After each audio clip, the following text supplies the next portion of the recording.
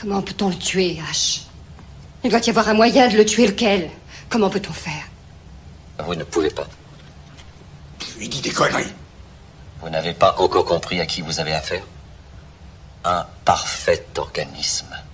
Et sa perfection structurale n'a d'égal que son hostilité. Tu l'admires, n'est-ce pas? J'admire sa pureté. Un survivant qui n'est pas souillé par la conscience, le remords ou les illusions de la moralité.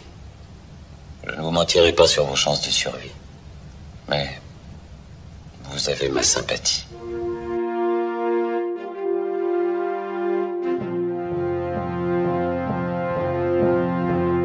Hello there.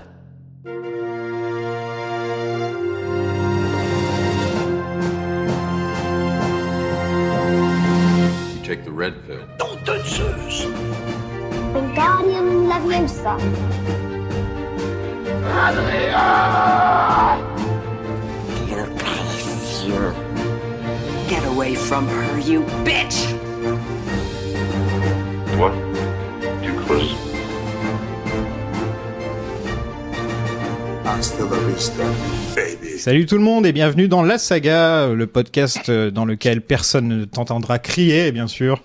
Je suis Sofiane et Zoltan n'est toujours pas là cette semaine car il est retourné dans le temps pour s'assurer que ses parents ne se rencontrent pas. C'est une longue histoire. Cette semaine, je vais débuter notre première saga de l'année, que l'on avait tirée au sort il y a un bail déjà. Alien, la saga avec Sigourney et son chat.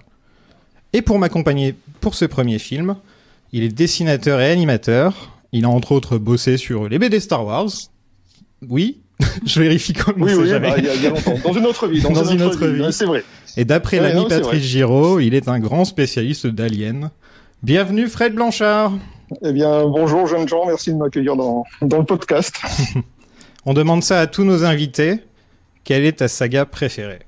Alors, ma saga préférée, je, je vais donner deux réponses parce que c'est évidemment, je suis un garçon toujours un peu compliqué. Donc, il y a une saga qui, est, qui en est pas une, qui est une saga personnelle, qui a un petit rapport avec euh, le film dont on va parler aujourd'hui. Euh, moi, s'il y avait une saga euh, vraiment euh, à construire à partir de divers films sortis à une, au début des années 80, fin des années 70, ce serait une saga composée du premier Alien de Ridley Scott, d'Outland euh, de John Badham et de Blade Runner de Ridley Scott parce que je trouve que ces trois films-là, si on les rapproche, on a vraiment une saga qui dépeint un univers dystopique euh, où on voit l'humanité en prise avec euh, bah, des forces euh, obscures, comme il dirait dans une autre trilogie, mais aussi des entreprises qui commencent à asservir tout le monde et il y a un sous-texte politique qui me qui me plaît vraiment. Et Ouais. euh, si par contre on parlait d'une vraie saga, vraiment de films, euh, voilà, qui était euh, voulu comme tel. Alors, je vais peut-être vous, surprendre, mais je, je, je penserai à, à la saga d'Antoine Douanel euh, de Truffaut, parce que je trouve quand même C'est super chouette d'avoir suivi un, un personnage comme ça de, de l'enfance jusqu'à l'âge adulte, et, et je trouve que c'est une c'est vraiment ces, ces quatre films qui dépeignent toute une période, euh, la période des Trente Glorieuses, et puis euh, les désillusions de l'âge adulte. Donc, et je trouve ça génial d'avoir d'avoir ce personnage qui vieillit euh, au, euh, au travers des films. Voilà. Donc ça, ça, ça serait, ça n'a rien à voir avec le genre, bien évidemment, mais, euh, Ah non, mais mon chose se porterait là-dessus. en fait, on avait eu un débat justement et j'avais demandé sur Twitter si euh, pour eux c'était une saga et on m'avait dit non et j'ai dit bah je le mets quand même dans le chapeau. Donc au final, tu, me, Bah, donnes tu me donnes raison. Voilà. Oui. Mais oui, complètement. complètement. Et je regrette que, que Truffaut soit mort si, si jeune, parce que j'aurais adoré voir Antoine Douanel arriver à 50 ans, euh, Ouais. à 60, et éventuellement, ça aurait été génial. Mais bon, voilà. Qu'est-ce que la saga Alien représente pour toi? Oh, alors beaucoup de choses, beaucoup de choses. Déjà, c'est une saga forcément qui me, qui me rattache à l'enfance, à la préadolescence, parce que j'avais 13 ans en 79. Et puis c'est un, c'est un film qui, euh, je pense, m'a construit euh, en partie esthétiquement, parce que c'est l'âge euh, auquel on, on est en proie à diverses questions. On a des gros chocs esthétiques. Euh, pour, pour ma part, c'était euh, en bande dessinée, c'était Métal Hurlant. Alors, je parle de bande dessinée parce qu'il se trouve que je fais de la bande dessinée. Et euh, je parle de Métal Hurlant parce que pour moi, euh, euh, Alien et Blade Runner dont je parlais tout à l'heure, ce sont des films euh, directement inspirés de, de Métal Hurlant. Donc, c'est vraiment des, des, ouais, des œuvres qui m'ont construit euh, artistiquement. Voilà. Alors, après, on pourra peut-être redévelopper tout à l'heure. Oui, mais bien il y a sûr. forcément des passerelles avec, euh, avec d'autres films et, euh, et d'autres domaines d'application. Et enfin, elle nous avait rejoint pour le premier Scream et elle est toujours derrière la chaîne Demoiselle d'horreur où elle a fait une très bonne vidéo sur replay. Coucou Judith Salut, merci. Et toi, ça représente quoi, Alien, pour toi? Effectivement, c'est des images assez marquantes à l'époque où j'étais enfant, où, euh, j'ai découvert euh, au moins les deux premiers films et où euh, j'avais été bah, assez impressionnée, on va dire, par le, concept de l'alien qui sort du ventre. voilà, bon, il y avait des scènes qui m'avaient un petit peu hanté comme ça, mais pendant longtemps, ça a pas représenté tellement plus que ça pour moi parce que beaucoup de gens, voilà, sont, sont devenus ou étaient fans autour de moi sans que moi j'ai vraiment redécouvert les films avec un œil plus attentif, on va dire. Et donc c'est, ça restait un bon souvenir sans être une saga aussi importante pour moi euh, qu'elle l'était pour beaucoup de gens. Et en fait, c'est avant de faire ma vidéo que j'ai, je les ai revus et que, enfin, c'est surtout en fait en re- redécouvrant le 1 vraiment par hasard avec des amis un soir de premier de l'an où, euh, où vraiment en fait je me suis dit waouh, mais en fait ce film est ultra euh, brillant et j'y ai vu des tas de choses que j'avais pas vues euh, les fois précédentes et, et du coup c'est en vraiment vraiment en travaillant sur le film que je me suis dit qu'en fait c'était c'était un film exceptionnel et, et du coup voilà maintenant ça compte beaucoup plus pour moi mais c'est c'est tout récent on va dire Ouais. Et t'es comme moi, toi, t'es plutôt, euh, plutôt fan du premier film. oui nettement Et ensuite, euh, ensuite, t'as pas trop trop accroché avec les, les, les, les suites ou il y en a une, une ou deux qui te viennent, euh, que, que t'aimes bien quand même ou- Alors j'aime finalement j'ai appris à un petit peu mieux aimer le 3 et surtout le 4 sans non plus être euh, voilà fan. Je pense que j'ai davantage aussi apprécié euh, en les revoyant euh, Prometheus et Alien Covenant même si je sais que voilà ils ont des réputations détestables. Bon moi je leur trouve quand même de l'intérêt même si voilà pas pas forcément le même que sur le premier film. Par contre j'ai quand même du mal avec le 2. Alors je sais qu'il est enfin souvent les gens le citent comme étant une suite qui surpasse l'original. Alors vraiment ça ça m'énerve parce que je veux dire, enfin ouais, il est sympa, il est divertissant, mais euh, je veux dire, il- je trouve qu'il détruit tellement tout ce que le premier met en place d'intéressant que j'ai, il me reste un peu en travers de la gorge. Après, c'est toujours agréable à regarder, mais euh, bon, euh, voilà, il, Hmm. il arrive pas à la cheville du premier selon moi. Ouais, bon, ça c'est un débat qu'on devrait sûrement avoir dans le 2 parce que moi c'est pareil. J'ai pas du tout accroché au 2. Hmm. Et limite, ouais, j'ai préféré plus l'ambiance du 3 qui ressemble plus un peu au premier. euh, limite, mais enfin, le, le 2, je trouve que. Bah, en fait, c'est très étrange d'avoir fait une sorte de film de guerre avec Alien parce que ça, pour moi, ça s'y prête pas vraiment. Mm. Après, il est bien fait, c'est un, c'est un bon film dans son genre et tout, mais c'est pas le genre que je recherche quand je regarde Alien, en fait, quoi. Et ouais, donc moi, pareil, j'ai j'ai jamais trop trop accroché aux suites au final. Par contre, le premier. euh, Oui. Voilà, oublier en, parle- en parlant d'Aliens, donc du deuxième qui a quand même été fait dans les années 80, en pleine Rambomania, Ouais. euh, par un, un réalisateur qui était quand même assez porté sur les armes. Euh, bon, voilà, c'était la période Reagan. Je pense que c'est un film qui, qui correspondait complètement aux attentes du public de ces années-là. Après, euh, effectivement, hein, dans les, quand on le regarde euh, avec, euh, avec les décennies qui sont passées depuis, euh, moi j'ai tendance à le trouver complètement pitoyable ce film. Mais il faut pas autres non plus. euh, voilà.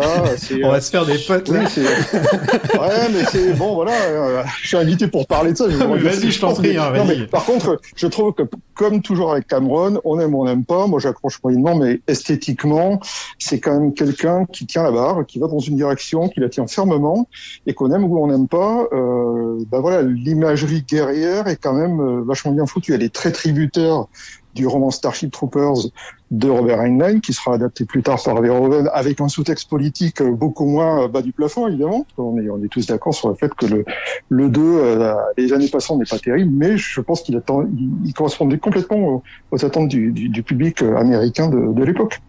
Et c'est, je pense, en, en partie grâce à ça qu'il y a eu une saga. Voilà, parce qu'il fallait Oui, quand même passer oui. le cap du, le, le, on n'avait pas besoin de saga avec le premier, le, le film se suffit à lui-même, le, le tout premier film, mais euh, bon, ben voilà, vu la logique des studios hollywoodiens, je trouve que euh, le, le deuxième a été un essai transformé de manière complètement admirable pour les objectifs que, que tout le monde s'était fixé à, à ce moment-là. Vous trouvez pas que c'est un peu difficile de nos jours de découvrir le premier Alien? Parce qu'il a inspiré tellement, tellement, tellement de films ensuite qu'on a vu, grandi avec, grandi avec, et quand tu le découvres un peu sur le tard, c'est plus difficile, j'ai l'impression. J'ai- Je l'ai je l'ai montré à une amie, elle me dit ouais, euh, c'est un peu long, euh, ça fait pas peur. euh. J'ai l'impression que de nos jours, il y a eu tellement, tellement de films à la Alien qui sont limite plus violents, plus gore et ce genre de trucs. Ah mais alors justement c'est intéressant parce qu'en fait tous les films je trouve euh, qui sont qui ont été faits à la Alien après finalement ont repris euh, les éléments peut-être les moins intéressants ou en tout cas Mhm. euh, enfin les peut-être les plus faciles à reproduire. Et en fait, là où le premier, il garde toute son originalité, je trouve, c'est justement euh, dans le temps qu'il prend, euh, la lenteur du rythme, le, le, le, dénuement de certains effets, euh, euh l'importance du décor, etc. Qui finalement, ça, c'est des choses qui restent originales parce que c'est pas euh, dans cette brèche-là que se sont engouffrés les studios après. Donc, moi, je trouve que c'est toujours hyper intéressant et rafraîchissant de le découvrir aujourd'hui. Après, c'est sûr que c'est plus spécialement la science-fiction à laquelle on est habitué euh, presque malheureusement j'ai envie de dire. Mais du coup c'est pour ça qu'il garde son originalité. Alors peut-être qu'on a euh, voilà un spectateur qui, passe particulièrement cinéphile ou qui a pas spécialement l'habitude aura peut-être du mal à se replonger dans ce rythme-là. Et c'est pas forcément le genre de science-fiction à laquelle il s'attend. Mais euh, mais vraiment ça vaut le coup d'essayer et de se pencher dessus parce que ça peut vraiment au contraire être un enchantement auquel on s'attend pas je pense. Ouais. J'adore qu'il prenne son temps justement mm. ce film c'est toute une question de mood en fait ouais. c'est vraiment un film à mood quoi Mood. Donc Alien, ça vient du cerveau de Dan O'Bannon, qui était euh, scénariste entre autres de Dark Star de Carpenter, donc de Metal Hurlant, et euh, de Total Recall. Ça va. il a écrit une trentaine de pages d'un projet qui s'appelait Memory et qui montre ce que deviendra le premier Alien. Et en gros, lui, il bossait sur le projet d'adaptation de Dune par Alejandro Jodorowsky, euh, dont j'ai parlé dans notre épisode sur le Dune de Lynch dans Lynch Planning, et que je vous conseille d'écouter. Parce que c'est plus sympa que de parler d'une nouveau Dune, quoi. Il y a tellement de trucs à dire sur les vieux Dunes. Vous avez vu le documentaire là-dessus, d'ailleurs? Sur euh, le Dune de, de, de Jodorowsky? Non, j'avoue. Oui, bien sûr, bien sûr, mais j'ai pas appris grand chose parce que bah, voilà, j'avais ça fait aussi partie des films mythiques euh, sur lesquels il y avait une attraction à l'époque et sur lesquels j'ai creusé tant que j'ai pu pour essayer de trouver des éléments, entendre des histoires, mmh. des anecdotes. Il y avait un numéro spécial de Metal Hurlant d'ailleurs qui était sorti, qui reprenait une partie du, du dossier de presse de, de l'époque. Donc moi, j'ai pas découvert grand chose. Euh, après, je suis quand même très très heureux que ce ce documentaire euh, existe parce que bah, ça a révélé une histoire quand même assez hallucinante au grand public. Et quelque part, ça m'a quand même conforté dans l'idée que je suis finalement très heureux que cette euh, adaptation n'ait pas vu le jour parce que je pense qu'on aurait eu droit à un film complètement décérébré à la Jodorowsky qui, aurait été au final une espèce de, mélange du Barbarella de Vadim et du Médée de Pasolini, étant entendu que j'ai quand même euh, beaucoup d'admiration pour le Médée de Pasolini, mais je pense que ça aurait été complètement foutraque et ça aurait été n'importe quoi. Donc euh, c'est bien que ce soit resté un, rêve comme ça, un fantasme, ce, film-là. Surtout qu'on a quand même des, visuels hallucinants pour, euh, pour rêver, pour rêver à ce que ça aurait pu être. Ouais, c'est ça. Je vous conseille à tous de, de vous renseigner sur ce projet parce que c'était, euh, enfin, faut le, faut le voir pour le croire. Il n'y avait pas Pink Floyd qui venait de la BO, enfin, je crois que c'était oui, genre, avait à Floyd, tous les niveaux, à tous avait... les niveaux, c'était n'importe quoi. il y avait Magma, Magma devait faire la, la, la, musique de la planète Harkonnen. C'est quand on écoute Magma maintenant, on se dit ah ouais quand même. Ah oui, c'est vrai qu'il y avait pas un Toto, quoi. venait- C'est pas Toto. Ça me permet de rebondir deux minutes sur sur Ridley Scott parce que Ridley Scott après euh, Blade Runner a essayé d'adapter aussi euh, Dune. On a vu, euh, on a et on a Ah, entendu très peu de choses sur cette adaptation-là, mais il y a quand même passé neuf mois. Il a essayé de faire ça entre Blade Runner et Les Gérondes. Voilà. Ouais, c'est marrant, on n'en entend pas tellement parler finalement de ce Non, non, il y a quasiment, il y a- il y a une toile, une toile de, de Giger qui surnage de temps en temps avec un verre des sables de forme très très phallique, mais euh, qu'on pourrait s'y attendre d'ailleurs. C'est c'est à peu près tout ce qu'on a. Je sais aussi que au cœur du film, c'est d'après ce que j'ai compris, ce qui avait posé un gros gros problème au studio, c'est qu'il y avait une relation incestueuse entre Dame Jessica et, et, et Paul. Et le film Ah. était parti en, est bâti en grande partie là-dessus. Donc euh, voilà. ok. Avant que Lynch tue la franchise pendant quelques décennies. et- Ah ouais, mais il faut pas dire du mal de Lynch parce que mine de rien, il Ah, a c'est fait pas le seul genre, hein. euh, space opéra. euh, c'est le seul, c'est le seul film de SF steampunk auquel on n'aura jamais droit. Et puis il y a des, il y a- oui, c'est raté, mais il y a des trucs hallucinants dans le film. Ah oui, quand oui, même. Donc O'Bannon rencontre des artistes comme euh, H.R. Giger et, et Mobius, euh, dont le travail euh, l'inspire pour son film d'extraterrestre. Il rentre à LA. Il rencontre aussi Chris Foss euh, pendant qu'il travaille sur Dune, en même temps que Giger et, et Möbius. Et d'ailleurs, ils vont entraîner les trois sur la pré-production de d'Alien. C'est une belle équipe. Hein. Il a trouvé sa petite Ouais, équipe ouais, dans un projet qui se ferait jamais. Et il s'est dit bon, on va faire un vrai truc avec eux. Exactement. C'est plutôt cool. C'est génial, c'est Ouais, génial. c'est plutôt malin. c'est- top. Et d'ailleurs, si, si je peux préciser, euh, quand euh, quand il va signer euh, bah, une option avec euh, avec Brandywine, dont tu vas sûrement parler tout à l'heure, il ramène Foss et surtout Ron Cobb dès le départ sur le film parce que il, il se sent vraiment péteux vis-à-vis de Ron Cobb, à auquel il avait promis euh, Monts et merveilles sur Dune. Il se trouve que Cobb a été euh, a été refusé par Jodorowsky et ça l'a foutu un peu dans la merde. Donc euh, Dan O'Bannon, qui est quand même quelqu'un d'assez droit quand même, euh, va rappeler Ron Cobb. Ça va être la première personne qui va appeler pour le pour le faire faire du, du design et le payer sur sur Alien parce qu'il se- il sent vraiment qu'il a une dette envers lui euh, par rapport à ce qui s'est mal passé sur Dune. Un bon gars, quoi. Oui, quand même. Donc il rentre à LA, il décide de mélanger son début de script pour Memory et un autre script sur lequel il travaillait et qui montrait un bombardier B-17 se faisant harceler par des gremlins, pas ceux du film, des vrais gremlins, des petits monstres verts. Et là il fait équipe avec Ronald Su- ah j'arrive jamais à le dire. Ronald Chaussette, ouais Chaussette, Ronald Ouais. Chaussette, Ouais. qui écrira lui par contre Alien versus Predator par la suite. J'ai vu ça. Je dis bon, il a écrit deux trucs vraiment importants dans sa carrière, c'est le premier Alien et Alien versus Predator. Ça c'est quand même plutôt cool. Je crois qu'il a quand même euh, il a il a il a pas Total Recall, à. Total Recall Ouais, Total Recall, hein. j'ai un peu, Ouais, je l'ai un peu oublié de côté pour ma blague. Ouais, ouais, quand même, quand même. Il décide de changer le titre en Alien parce que ça sonne bien et en plus le mot apparaît énormément dans le script. J'ai toujours été étonné qu'ils ils- ils osent appeler le 2 Aliens avec un S à la fin parce que peux tellement facilement confondre les deux titres au final.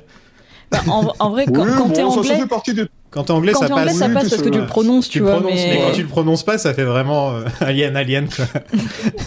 Ouais, puis je trouve que c'est, ben, en anglais c'est Aliens, donc non, c'est bien. Moi, je trouve que pour le coup, même si j'aime pas encore une fois le 2, je trouve que ça va bien dans la dans la, la promesse que ça Complètement. ouais, que ça que ça que ça tendait au public. C'est il ah ben vous allez en avoir beaucoup plus et puis il y a des soldats et donc euh, voilà, ça va être la guerre. Quoi. Bon ben voilà, au moins. Euh, Mais ça fait il vraiment avait- titre de film, quoi. On va, on va, on met un, on Ah ouais, dirait qu'ils sont réunis tous autour d'une table. Il y a Don Draper qui est rentré. Il a, il a mis un S sur Alien et il a fait Aliens. Et tout le monde a fait Oh, waouh Ouais, non, et il a ça. disparu pendant trois mois. On sait pas où il est.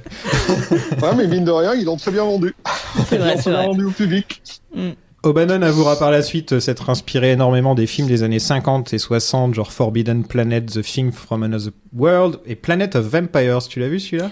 Euh, euh, non. Euh, Et il a l'air super bien. Je me suis un peu renseigné. Je me suis dit, à mon avis, tu dois le connaître. Mais Planet of Vampires. ah, je- du coup, j'ai très très envie de le voir. je, sais plus. Je crois que c'est un Italien qui a fait Bon. ça ou un truc comme ça. Oui, c'est Mario Bava qui a fait ça. Voilà. C'est des, on se Oui, retrouve sur, euh, c'est très cheap, mais c'est très beau, mais c'est très cheap. Bah, bon. Et on a surtout des astronomes, des astronautes, pardon, en, en tenue spatiale en cuir noir, qui sont assez, assez troublants. Enfin, on voit rien. Mais il faut dire que Memory commençait un peu une histoire un peu à la Lovecraft, c'est-à-dire que euh, même les, les premières versions, l'alien était, il savait que ça allait être une série B de toute façon, donc il savait très bien qu'on pourrait pas trop monter le monstre. Et il y avait un côté un peu menace euh, immatérielle, et on retrouve euh, sur l'équipage, et on, on retrouve tout à fait ça dans le dans le Bava sur la, la, la planète des vampires, qui a été fait vraiment avec trois bouts de ficelle. euh, Il y a, c'est marrant, euh, c'est, super bien, c'est hyper pop. Il y a des, il y a- il y a beaucoup de fumée, il y a des, il y a des décors très simples. Ouais, on est entre Forbidden euh, Planet et euh, je sais pas moi, une, une émission de Bogdanov de l'époque. C'est, euh, très bien, mais c'est très beau. L'esthétique est très belle. Tu me l'as très bien vendu. O'Bannon présente le film au, au studio comme les dents de la mer dans l'espace. Et c'est vrai. Enfin, C'est vrai. dans le concept, techniquement, c'est à peu près exactement. Enfin, c'est vrai, c'est à peu près la même chose, quoi. Enfin, Euh, oui, bah, les enjeux ouais. sont différents et tout, mais c'est vrai qu'il y a du coup euh, un, une créature euh, qui peut surgir de nulle part et donc il Ouais. faut se méfier, ouais. euh. et elle fait plus peur quand elle est pas là que quand elle est là, tu vois. Ah, ouais. Si je peux me permettre, c'est comme ça aussi euh, qu'ils ont essayé de vendre la gamme de jouets euh, Alien à Kenner en leur disant non mais vous avez fait euh, vraiment un carton avec les, le jouet euh, Jaws, euh, dents de la mer, parce qu'apparemment il y avait un jouet avec un requin qui mangeait des bottes et des, des, des trucs qui traînaient dans la mer, des seaux, des trucs comme ça.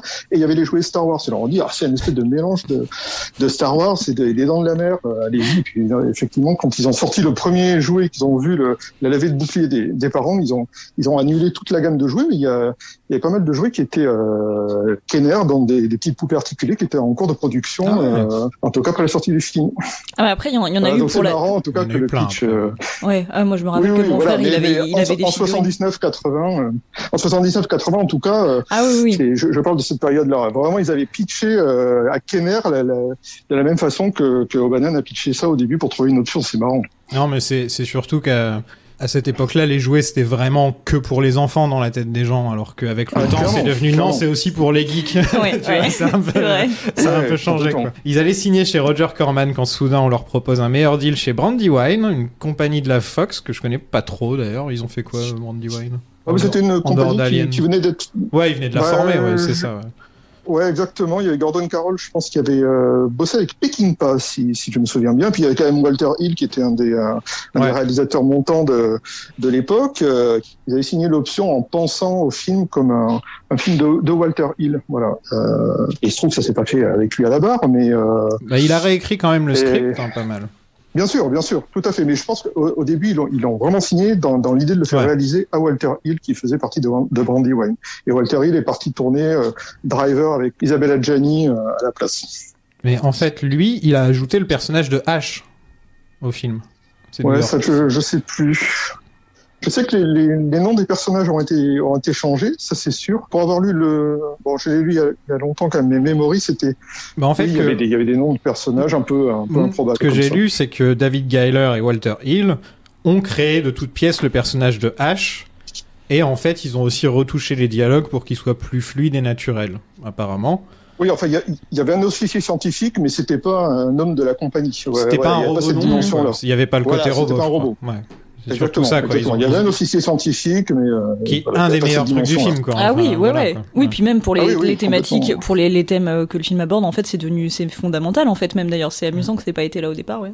Ben, la dimension sociale, euh, la dimension camionneur de l'espace, ça vient de, de Hill et, et Giller, euh, parce qu'ils ont vraiment ratouché des, euh, rajouté des petites touches euh, de ci, de là, dans ce sens. C'est vrai que ça n'existait pas trop du, du, du temps du script original de, de Dan O'Bannon. Bah, O'Bannon, lui, son rêve, c'était de réaliser justement lui aussi. Et Oui. au, au final, euh, ça s'est pas fait parce que la Fox euh, était impressionnée par le travail de Ridley Scott sur son premier film Les Dualistes, et donc il décide de l'engager. C'est que son deuxième film. Alien. Mm. Son deuxième film, c'est Alien. Bon courage pour le reste de ta carrière, mec. C'était pas le premier choix, hein, Ridley Scott, quand même. Non, Ridley non, Scott, ouais. je pense qu'il était quatrième ou cinquième Ouais, il dans y la avait, liste. il y avait plusieurs choix avant. euh, ouais.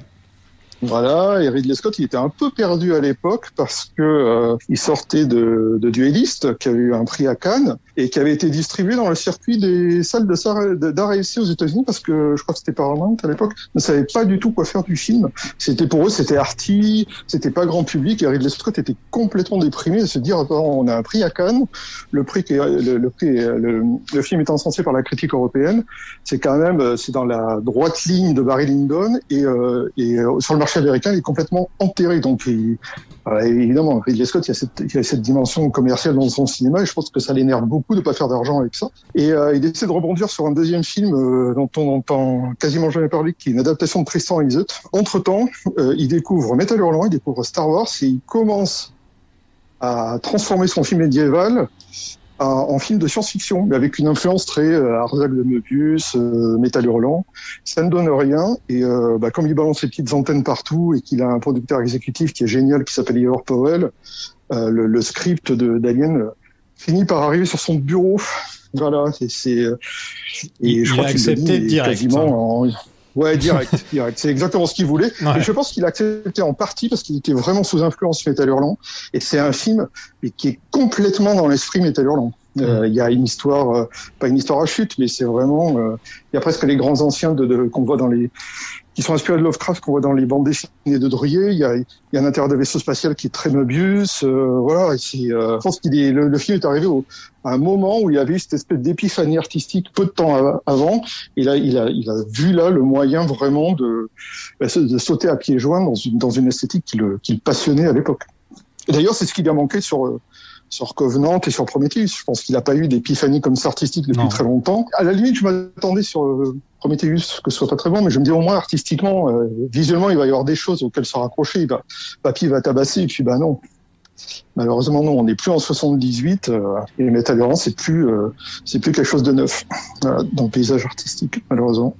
Dans Prometheus et dans Covenant, euh, on, on sent en fait que Ridley Scott il a vieilli enfin, en tant qu'homme, qu'il a eu un certain parcours et qu'il a plus du tout le même regard sur ses personnages. euh, euh, Enfin, je veux dire, à- Alien, il y a déjà une ambiance un petit peu déprimante, mais euh, Prometheus et Covenant, c'est vraiment en mode euh, bon, euh, là, euh, écoutez les gars, il y a plus d'espoir et C'est euh, dark, quoi. ouais, ouais, c'est super dark dans, dans ce que ça dit, dans ce que ça raconte. Et c'est intéressant, C'est mais surtout c'est très froid. C'est froid, hein. je trouve. Ouais. Euh, alors que le premier est pas froid. Le premier, on, on s'attache aux personnages, même s'ils ont très peu d'espace pour exister. euh, On, on les, on les trouve quand même relati- relativement vite euh, attachants. C'est d'ailleurs pour ça que on n'a pas envie qu'ils meurent. Oui, Voilà. oui. Alors que dans Prometheus et Covenant, voilà, il y a, il y a plus, il y a, enfin, j'ai pas envie de dire qu'il y a pas de respect pour ces personnages, mais il y a plus d'amour en tout cas. C'est assez particulier de réussir à rentrer dans ce genre de film. Euh, voilà, c'est intéressant, mais euh, c'est difficile de se passionner pour ça autant que pour un film pour- comme Alien. Est-ce que vous avez un Ridley Scott préféré en dehors d'Alien euh, Thelma et Louise. Pareil. Eh bien, et moi, en dehors d'Alien, euh, bah, Alien. Non, le film Christophe Colomb avec, euh, avec Gérard Depardieu. non, si je devais dire un autre film, ce serait Blade Runner, hein, pour les raisons que j'ai évoquées tout à l'heure. Voilà, c'est Blade, esthétiquement, Blade c'est- Runner, c'est un drôles de films où je l'ai vu genre au moins cinq fois et à chaque fois j'arrive pas à l'aimer ce film. Je sais pas pourquoi. Et pourtant je Ah le ouais. trouve joli et tout, enfin tu vois. Mm. Mais j'arrive pas vraiment à être dedans et, et je sais que je vais m'en prendre plein la tronche sur, sur Twitter en disant ça parce que je, je vais, je vais enchaîner avec et j'aime pas Gladiator. et, euh, et non ouais, je suis pas. Enfin Ridley c'est pas vraiment un réalisateur qui euh, qui te parle beaucoup, Ouais, mais pour. Blade Runner, je peux comprendre. En fait, moi, c'est c'est bizarre parce que j'adore les éléments séparés de Blade Runner, tu vois. Genre, sur le papier, il y a plein de choses qui me plaisent et, euh, et, et par exemple, la, la scène, euh, la scène de la mort du personnage de Roger Hauer, je la trouve magnifique et la musique, voilà. Et, et cette musique, je l'écoute en boucle et je trouve ça absolument fabuleux et tout ce que tu veux. Mais le film en lui-même ne me marque pas autant que je pourrais l'espérer quand je le vois, tu vois. Euh, faudrait que je le re-redécouvre aussi, comme ça avait été le Ah. cas pour Alien. Mais pour l'instant, le film en lui-même ne me marque pas comme, euh, comme ces éléments séparés me plaisent en fait. Je crois que je préférerais revoir un petit Total Recall euh, avec du Schwarzy, tu vois, que ce qui- enfin la suite pareil, je l'ai trouvé super jolie, euh, j'étais dedans et tout mais j'ai un peu oublié tout ce qu'il y avait dans le film un mois plus tard. Mm. quoi. Enfin, j'arrive pas vraiment à imprégner Blade Runner et ça m'énerve parce que je sais que ça devrait me plaire mais j'y arrive pas quoi. C'est euh, c'est chiant ce genre de moment avec des films parfois. C'est un peu frustrant pour le coup. Moi, le deuxième, je l'avais trouvé, enfin, je l'avais vraiment beaucoup aimé au cinéma. Après, je suis d'accord, j'en ai pas gardé énormément de choses, si ce n'est euh, l'émotion esthétique, on va dire, mais. Et les euh, petites lunettes de Dave Baptiste. Non, tu vois, ça j'avais oublié, Il a mais. des toutes petites lunettes et une grosse tête, c'est très mignon. On dirait un pouce. Ridley a fait des, des storyboards pour, le, pour Alien, donc. Et c'est lui qui a ajouté le quatrième acte dans la shuttle. Qui a eu cette idée euh, que ça se finisse comme ça. Parce que sinon, elle était censée se barrer et, la- et le Nostromo explose et ça finit comme ça. Ouais, il y a quand même des storyboards euh, qui datent d'avant l'arrivée de, Rid- de Ridley Scott, quand euh, Dan O'Bannon essayait de planifier les séquences d'effets spéciaux avec Ron Cobb et, et Chris Foss. Et moi, j'ai vu des storyboards de Chris Foss où il y a quand même cette idée d'une baston dans la navette à la fin. Ah, ok. Donc euh, voilà, je, le te troisième fais acte, confiance. euh, après, je sais pas quand est-ce que ça arrivait précisément, mais en tout cas, c'était vraiment une période où euh, les deux faisaient le développement euh, visuel de, de- du film avant que Ridley Scott n'arrive, et il y avait euh, plusieurs séquences d'effets spéciaux qui ressemblaient d'ailleurs un peu, c'était assez basique, c'était en gros le, vaisseau qui se baladait sur point étoilé, ça, ressemble un peu à des, scènes de Dark Star, le, film qu'il avait réalisé avec euh, avec John Carpenter euh, à la fin de ses études de cinéma, et, voilà, en tout cas, il essayait déjà de gagner du temps et de planifier vraiment euh, le travail euh, pour que euh, le moment venu, une fois que le réalisateur arriverait vraiment à la barre du, film, euh, il y ait quand même euh, un maximum de choses qui soient déjà prêtes. Car- Carpenter, d'ailleurs, c'est un peu. Bah, c'est lui qui a fait le meilleur film à la Alien de tous les temps The Euh, Thing bien sûr, parce Oui, qu'en fait, bah se, voilà, ils, se, ils se sont brouillés, les deux se sont brouillés euh, à la fin de, de Dark Star, parce qu'ils étaient tous les deux réalisateurs, mais ils ne pouvaient pas avoir tous les deux de, de crédit. Donc c'est Carpenter qui l'a pris, Dan O'Bannon lui en a beaucoup voulu. Et quand Dan O'Bannon, alors ils se sont fâchés, quand Dan O'Bannon a sorti Alien, Carpenter, a, juste après la sortie The Thing, c'était une espèce de réponse euh, de Carpenter à Dan O'Bannon sur le domaine de la peur et des extraterrestres. Ça, c'est la petite histoire sous le film, qui est intéressante. Une espèce de rivalité quand même à l'époque euh, qui, est passée sous les radars du, Ouais, je du savais pas du public, tout, bien intéressant. À la musique, on a Jerry Goldsmith, Planète des singes, Chinatown, Poltergeist, Gremlins, Mulan, Elle est confidentielle. je vais juste m'arrêter là. La BO est, euh, est parfaite pour ce film, en fait. Le fait qu'elle soit un petit peu effacée comme ça. Hmm. Elle est très effacée, limite même quand tu l'écoutes avec des écouteurs et tout. Mais c'est marrant parce qu'il y a un effet fondu, si tu veux, entre euh, les, les décors, euh, l'atmosphère, la musique. Qui, en- tout, tout ça se répond parfaitement et euh, je pense qu'on en reparlera, mais c'est, c'est, ça matche très bien avec l'idée que on sait jamais, tu sais, si l'alien est dans le décor ou pas, tellement le décor ressemble au corps de l'alien. Et en fait, t'as un- une sorte d'effet continu comme ça avec que des éléments qui sont pas très bien compartimentés et la musique vient lier tout ça, tu vois vois, en fait, rien n'est- très, euh, aucun des éléments n'est très discernable les uns des autres. C'est des vignettes. hein. Oui, et tu vois, ça, ça participe vachement à cette atmosphère hyper inquiétante, en fait, où tu sais pas où te situer. Et en fait, la musique ne t'aide pas, n'est pas un repère. Elle, Mhm. elle, elle agit dans ton inconscient, mais euh, t'as pas de grands moments musicaux qui, en fait, vont venir soutenir des scènes et quelque part t'en sortir un peu. Ça va ne faire toujours que te plonger dans l'ambiance, mais voilà, de manière effacée et discrète. Et, et c'est ce qui marche le mieux pour l'angoisse, en fait. Complètement. En, vous écoutant, je, suis content que le, score tel qu'écrit par euh, Jerry Goldsmith n'ait pas pas été euh, ne soit pas apparu dans, dans le montage final parce que vous savez qu'il y a eu un gros problème euh, avec la musique de, de Goldsmith, c'est que par moment elle était limite guillerette à la Star Trek. Et quand il a commencé à monter le film, euh, Ridley Scott et Terry Rawlings, qui à la base aussi euh, a une formation musicale, je crois qu'il avait fait, il avait, il avait produit un disque ou deux ou des choses comme ça, son monteur, ont commencé à monter la le, le film avec, euh, bah oui, euh, des musiques de, de Jerry Goldsmith. Et parmi elles, il y avait une musique qu'il avait écrite pour un film qui s'appelle Freud. Et en fait, euh, Goldsmith n'a pas proposé mieux que ça sur deux trois segments du film et, et à la fin, vous avez une partie de la musique d'Alien qui est en fait une réutilisation de la musique de Freud par Goldsmith. C'est vraiment une musique d'ambiance qui, qui plombe vraiment les choses sur certaines scènes. Et si vous réécoutez la musique du film telle qu'elle a été sortie en disque, vous verrez qu'il y a des morceaux, vous dites mais c'est quoi ce truc euh, J'ai jamais entendu ça dans le film. Ouais. Il y a presque, presque un côté Star Trek qui sortait carrément le, le- de, de l'ambiance du film tel qu'on peut, on a pu la expérimenter sur sur sur grand écran. Donc là, c'est pareil, Goldsmith en a voulu à Ridley Scott pendant très très longtemps parce que bah, il n'avait pas accepté euh, ses, ses choix artistiques et puis surtout il avait réutilisé euh, une musique euh, qui pour lui faisait partie du passé, qui était euh, une musique euh, bah, pour ce film qui s'appelle Freud. Ah, c'est la musique recyclée, hein, c'est comme euh, la musique de Dewey dans Scream. Oui, c'est ça. De toute façon, le, le, le, le, le modèle de Ridley Scott étant euh, Kubrick, euh, Kubrick avait monté euh, 2001 avec des valses, euh, des choses comme ça. Ouais. Euh, et puis il s'est aperçu euh, que bah, le, le, le, compositeur qui, a, qui avait demandé la musique, à la fin, euh, n'était pas capable de lui, euh, de lui proposer mieux. Donc il- le, le film est sorti avec les, avec les valses de Strauss et tout ça. Ben, c'est un peu le même principe avec Ridley Scott. Euh, Il a commencé à monter son film comme ça, avec de la musique de Goldsmith. Et il s'est aperçu qu'en fait, Goldsmith était, c'est pas qu'il était incapable de lui, de lui livrer mieux, c'est que il n'avait pas cliqué sur, sur l'ambiance Ouais. du, du film tel que la voulait Scott. Voilà. Est-ce que vous saviez que sur le poster, c'est un œuf de poule Oui, bah, Bah, voit, vous savez.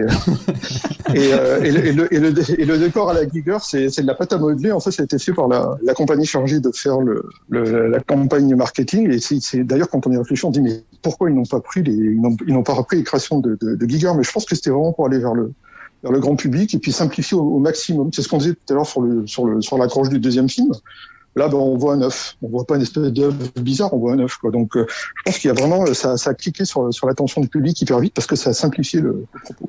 D'ailleurs, même, euh, on peut parler du logo, qui est le, le logo est espacé. euh, quand il arrive à l'écran, il est complètement cryptique, il est complètement déconstruit, et puis il, Ouais. il se reforme petit à petit. Il y, a, il y a un côté graphique qui est super chouette. C'est signé euh, Richard Allen Greenberg, le, le, le titre. Et c'est lui qui a fait Superman et les Incorruptibles aussi. Donc niveau titre, il est pas mal. Quoi. Parce que quand tu réfléchis, titre des années 80 que tu, dont tu te souviens vraiment, les Incorruptibles, Superman et Alien, c'est pas mal. quoi. C'est pas... Il est Ouais, décédé il y a pas l'école, c'est. Solbass. Hein, euh, Mm. C'est vraiment, euh, on pense à Solbass inévitablement quand on voit ça. Et puis surtout, c'est pertinent et puis c'est cohérent. Euh, entre, entre le générique du film, euh, le générique d'ouverture et l'affiche, euh, ça fait vraiment partie du même package. Si on a vu l'affiche et qu'on voit le, le film s'ouvrir comme ça, euh, on n'est pas volé sur la marchandise. On a été dans l'ambiance de l'affiche. Oscar des meilleurs effets spéciaux, le seul Oscar gagné par Alien cette année. Même pas Oscar de meilleure poule sur une affiche. Et un budget de 11 millions pour un box-office de plus de 100 millions. Donc pas mal. Si c'était sorti de nos jours, ça aurait fait un milliard. Ouais. C'est vrai quoi. Je propose qu'on passe au film. Allez. Enfin. Nous sommes en 2122. Le cargo spatial Nostromo retourne vers la Terre avec sa cargaison, quand soudain, il capte un signal. Moser, l'ordinateur principal du Nostromo, interrompt le sommeil artificiel des membres de l'équipage. Et on parlait tout à l'heure de 2001, l'Odyssée de l'espace. Bah, ça, ça vient de là? Est-ce que c'est les premiers à avoir fait Est-ce que c'est Kubrick le premier à avoir fait cette idée de s'endormir dans l'espace euh, pour passer le temps? Alors, ça, je sais pas, mais alors, par contre, il y a, une, anecdote euh, très très drôle et très intéressante, c'est que euh, tout à l'heure, je parlais d'Ivor Powell, qui est, le, qui est le producteur exécutif de, de Ridley Scott, qui sera sur ses films des duellistes à Blade Runner, qui est un fan absolu de science-fiction, et il se trouve que je pense qu'Ivor Powell a, a quand même guidé euh, la main de, de, Ridley Scott, non pas sur le design, parce que euh, Ridley Scott est un super directeur artistique, il a vraiment pointé les, les, les œuvres de science-fiction, euh, que ce soit cinématographique ou, ou bande dessinée, importantes de l'époque. Et alors, il se trouve que Ivor Powell a travaillé sur 2001 le ciel d'espace en tant qu'assistant de, de, Kubrick. Tout ça pour finir euh, par le fait que, euh, pour en revenir au sommeil dans l'espace, il apparaît dans le film dans 2001 et il est un des scientifiques qui est tué par Hal qu'on voit dans les dans les sarcophages. Kubrick n'avait personne d'autre pour ça. Il a dit à Ivor, écoute, si t'es si capable de rester tranquille pendant plusieurs heures là-dedans, vas-y. Et on voit Ivor Powell dans 2001. Ça, ça établit un petit lien autre que qu'artistique entre les deux films parce que moi je considère quand même que qu'Alien est une espèce de réponse punk au, au 2001 de le, le d'espace très très Beatles de, Kubrick. Il y, a, un film qui, arrive avant la conquête spatiale, pendant les Trente Glorieuses, c'est les années 60. Alors la société portée par un optimisme hallucinant, et puis ben euh, dix ans plus tard, il y a un choc pétrolier, il y a une crise économique, il y a le punk qui a remplacé le, les, les Beatles, et euh, il y a Alien qui est là et qui, pour moi, symbolise ça. Pour moi, c'est vraiment une réponse punk à 2001. C'est dingue. Quand on y pense, c'est hyper dark. C'est vraiment un film no future. Alors que le futur de, de, Kubrick s'annonçait rayonnant. C'était, euh, on côtoyait les dieux et on côtoyait pas les espèces de gargouilles, euh, de gargouilles euh, industrielles comme on peut les voir dans dans Alien. C'est les, les, deux films quand on les regarde en miroir, c'est hallucinant. C'est vraiment un miroir déformant l'un de l'autre. Ouais, mais il est où le punk maintenant et il est où Paul McCartney Il est où Paul McCartney Ça, il est encore en forme. Justement. non, ouais, je j'avais jamais trop ressenti un côté euh, beatlesque euh, euh, pour pour 2001, qui est sorti. Bah, il, est sorti en quelle année 2001 euh... Et il est sorti en 68. Il je est sorti sais. un an avant que les hommes ne, ne, débarquent sur la Lune. Il y a, il y a David Bowie qui s'en est inspiré pour Major Tom, pour son premier hit. Oh, il y a vraiment un côté euh, lyrique, je trouve. Euh, Ouais, ouais, je voulais, mais je voulais voir, euh, enfin, si, je, je, vais juste faire une petite recherche pour voir s'il y a une connexion Kubrick-Beatles, parce que je me. Ah, une fois, John Lennon lui a demandé de réaliser un des films des Beatles. Voilà. Ah, mince, raté. ça n'a pas marché. Voilà, c'était la seule connexion qu'il y avait. Que d'ambition cinématographique chez les Beatles. Mais, mais c'est vrai que je m'étais jamais posé la question. Est-ce que Kubrick et les Beatles sont peut-être un jour euh, bossés ensemble On sait jamais, quoi.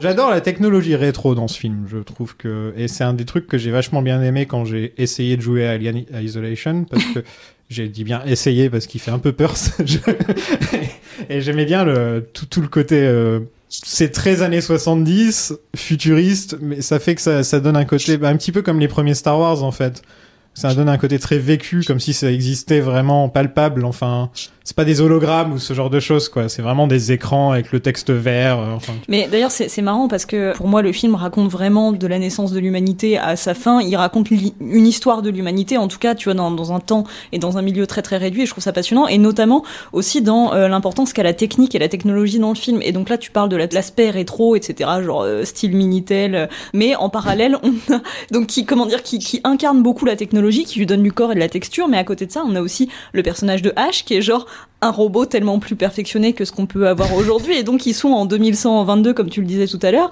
Et euh, d'un côté ils en sont encore au Minitel. Et en même temps ils ont un robot qui imite parfaitement l'humain. Et bah c'est c'est curieux à regarder aujourd'hui en tout cas. Euh... j'adore ouais. ah non mais c'est c'est vachement bien. Mais c'est c'est curieux. Mais en tout cas c'est je trouve ça finalement intelligent et signifiant dans le film dans ce qu'il raconte d'avoir euh, une technologie hyper menaçante et hyper ressemblante. Et en même temps de lui donner une présence par ce côté très incarné et très euh, bah ouais très vintage comme tu le disais, de des, écrans.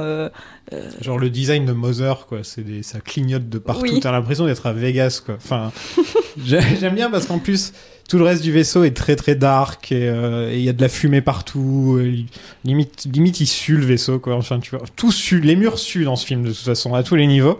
Alors tu rentres dans Mother, d'un seul coup, t'es vraiment dans une box. Euh, dans une sorte de boîte comme si t'étais à la fête foraine et enfin euh, je sais pas j'aime bien euh, j'ai toujours bien aimé le concept de Mother quoi. Bah, le concept de Mother il vient de il vient presque de Tristan Isolde parce que euh, Ridley Scott le, le- voyait la pièce un peu parce que comme une espèce de chapelle euh, où il y aurait plein de petits cierges qui, qui brûleraient et le, le côté très dark, très euh, de, de, du Nostromo, euh, vous avez évoqué le côté 70 esthétique, vraiment rafistolé tout ça, bah, tout ça, ça vient en partie du fait que quand même les, tous les décors ont été décorés par Roger Christian qui vient quand même de faire le premier Star Wars et qui a reçu un, un Oscar pour ça. Donc vraiment, l'idée c'est qu'ils vont dans des casses aéronautiques, ils, re- ils prennent des tonnes d'objets qu'ils assemblent comme des sculptures sur les murs, qui repeignent en sombre et tout ça, et c'est et ça donne un côté complètement délabré, fuyant.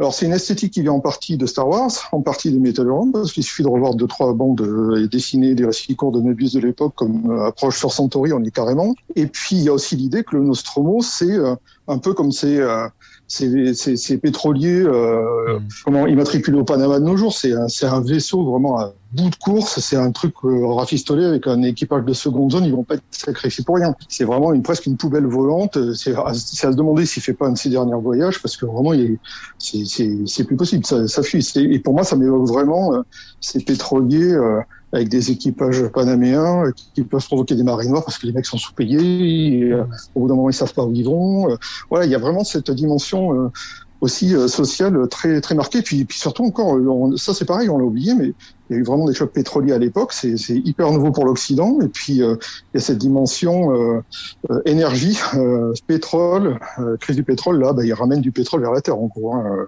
globalement. Donc il y a le côté raffinerie noire.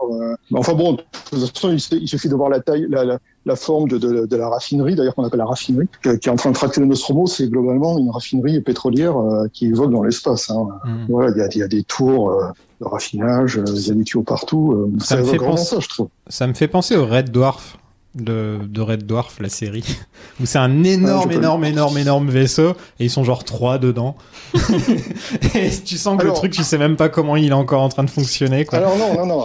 Là, dans, alors c'est pas clair dans le film, mais là, le, le, le, le gros vaisseau avec les, les tours qu'on voit, là, ça c'est la raffinerie, mais elle est tractée par le Nostromo, par le Oui, truc oui. qui est atterri sur la planète, et les personnages restent dans celui-là.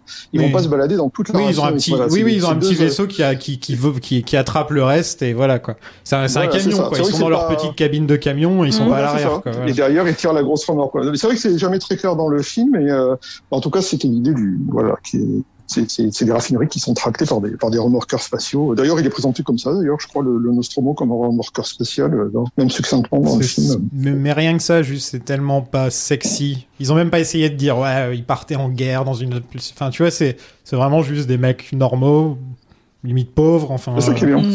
Mais euh, c'est un engin commercial, c'est pas un, un vaisseau de sauvetage. C'est vrai. Et c'est pas dans mon contrat de faire ce genre de boulot. Si on parlait un peu de pognon, hein, si vous êtes disposé à me payer, moi je demande pas mieux que de vous rendre service. Hein Parker a raison. Et la question de répartition Oui, des primes, vous avez oui, pas bien sûr, je suis désolé. Attendez une minute, est-ce que je peux parler? Bah, parlons du problème des primes. Il y a une clause dans le contrat qui établit de façon claire que toute transmission systématisée indiquant la possibilité d'une origine intelligente doit faire l'objet d'une recherche. Je. Ouais, mais on sait pas si c'est Je intelligent. veux rentrer et être payé. Parker, tu veux écouter une minute? La peine et la suppression des primes de fin de voyage. On fait la rencontre d'Hélène Ripley, lieutenant du Nostromo, incarné par Sigourney. C'est la cinquième fois qu'on va parler d'elle dans le podcast. On commence à être vachement spécialisé en Sigourney Weaver. On a fait les quatre euh, SOS Fantômes et elle apparaît dans les quatre. Et là, on va faire tous les aliens. Ça fera huit films avec Sigourney Weaver. On parle jamais trop d'elle. on parle jamais trop d'elle. J'ai hâte qu'Avatar sorte enfin la suite. Euh, Vous, vous êtes reparti pour 10 ans là, je pense, de, de Sigourney Weaver dans les, dans les podcasts. Qu'est-ce que vous pensez de Ripley? Toi, je pense que t'as fait une vidéo dessus, donc à mon avis, tu dois. Je, pense que tout le monde sait déjà, mais allons-y. Euh, oui, non, moi je trouve que c'est un personnage passionnant. Bah déjà la manière dont il est mis en scène, c'est hyper intéressant parce que euh, bon, c'est c'est un aspect qui est connu de ce film-là, mais c'est vrai qu'au départ, elle est pas le personnage principal. Le film n'est pas de son point de vue. On est beaucoup plus euh, sur le personnage de Kane qui en fait euh, va clamser assez vite. Euh, pardon pour les spoilers, mais bon, il y a prescription. C'est hyper intéressant de voir en fait comme elle va gagner son temps d'écran et son temps de présence euh, à l'image au fur et à mesure du film, et euh, qu'en fait son personnage n'est réellement abouti entre guillemets et ne va vra- vraiment prendre tout son sens qu'à la fin. Enfin, je pense en fait que que le film décrit vraiment un parcours très complet de personnage et que elle est pas encore terminé entre guillemets au début du film. Tu vois, il faut vraiment avoir vu tout le film pour comprendre qui est le personnage. Je trouve ça hyper intelligent. Et pour moi, voilà, c'est ce que je dis dans ma vidéo, mais pour moi, c'est une sorte de réécriture de Prométhée. Donc, comme je le disais, pour moi, le film parle de la naissance de l'humanité dans un autre contexte.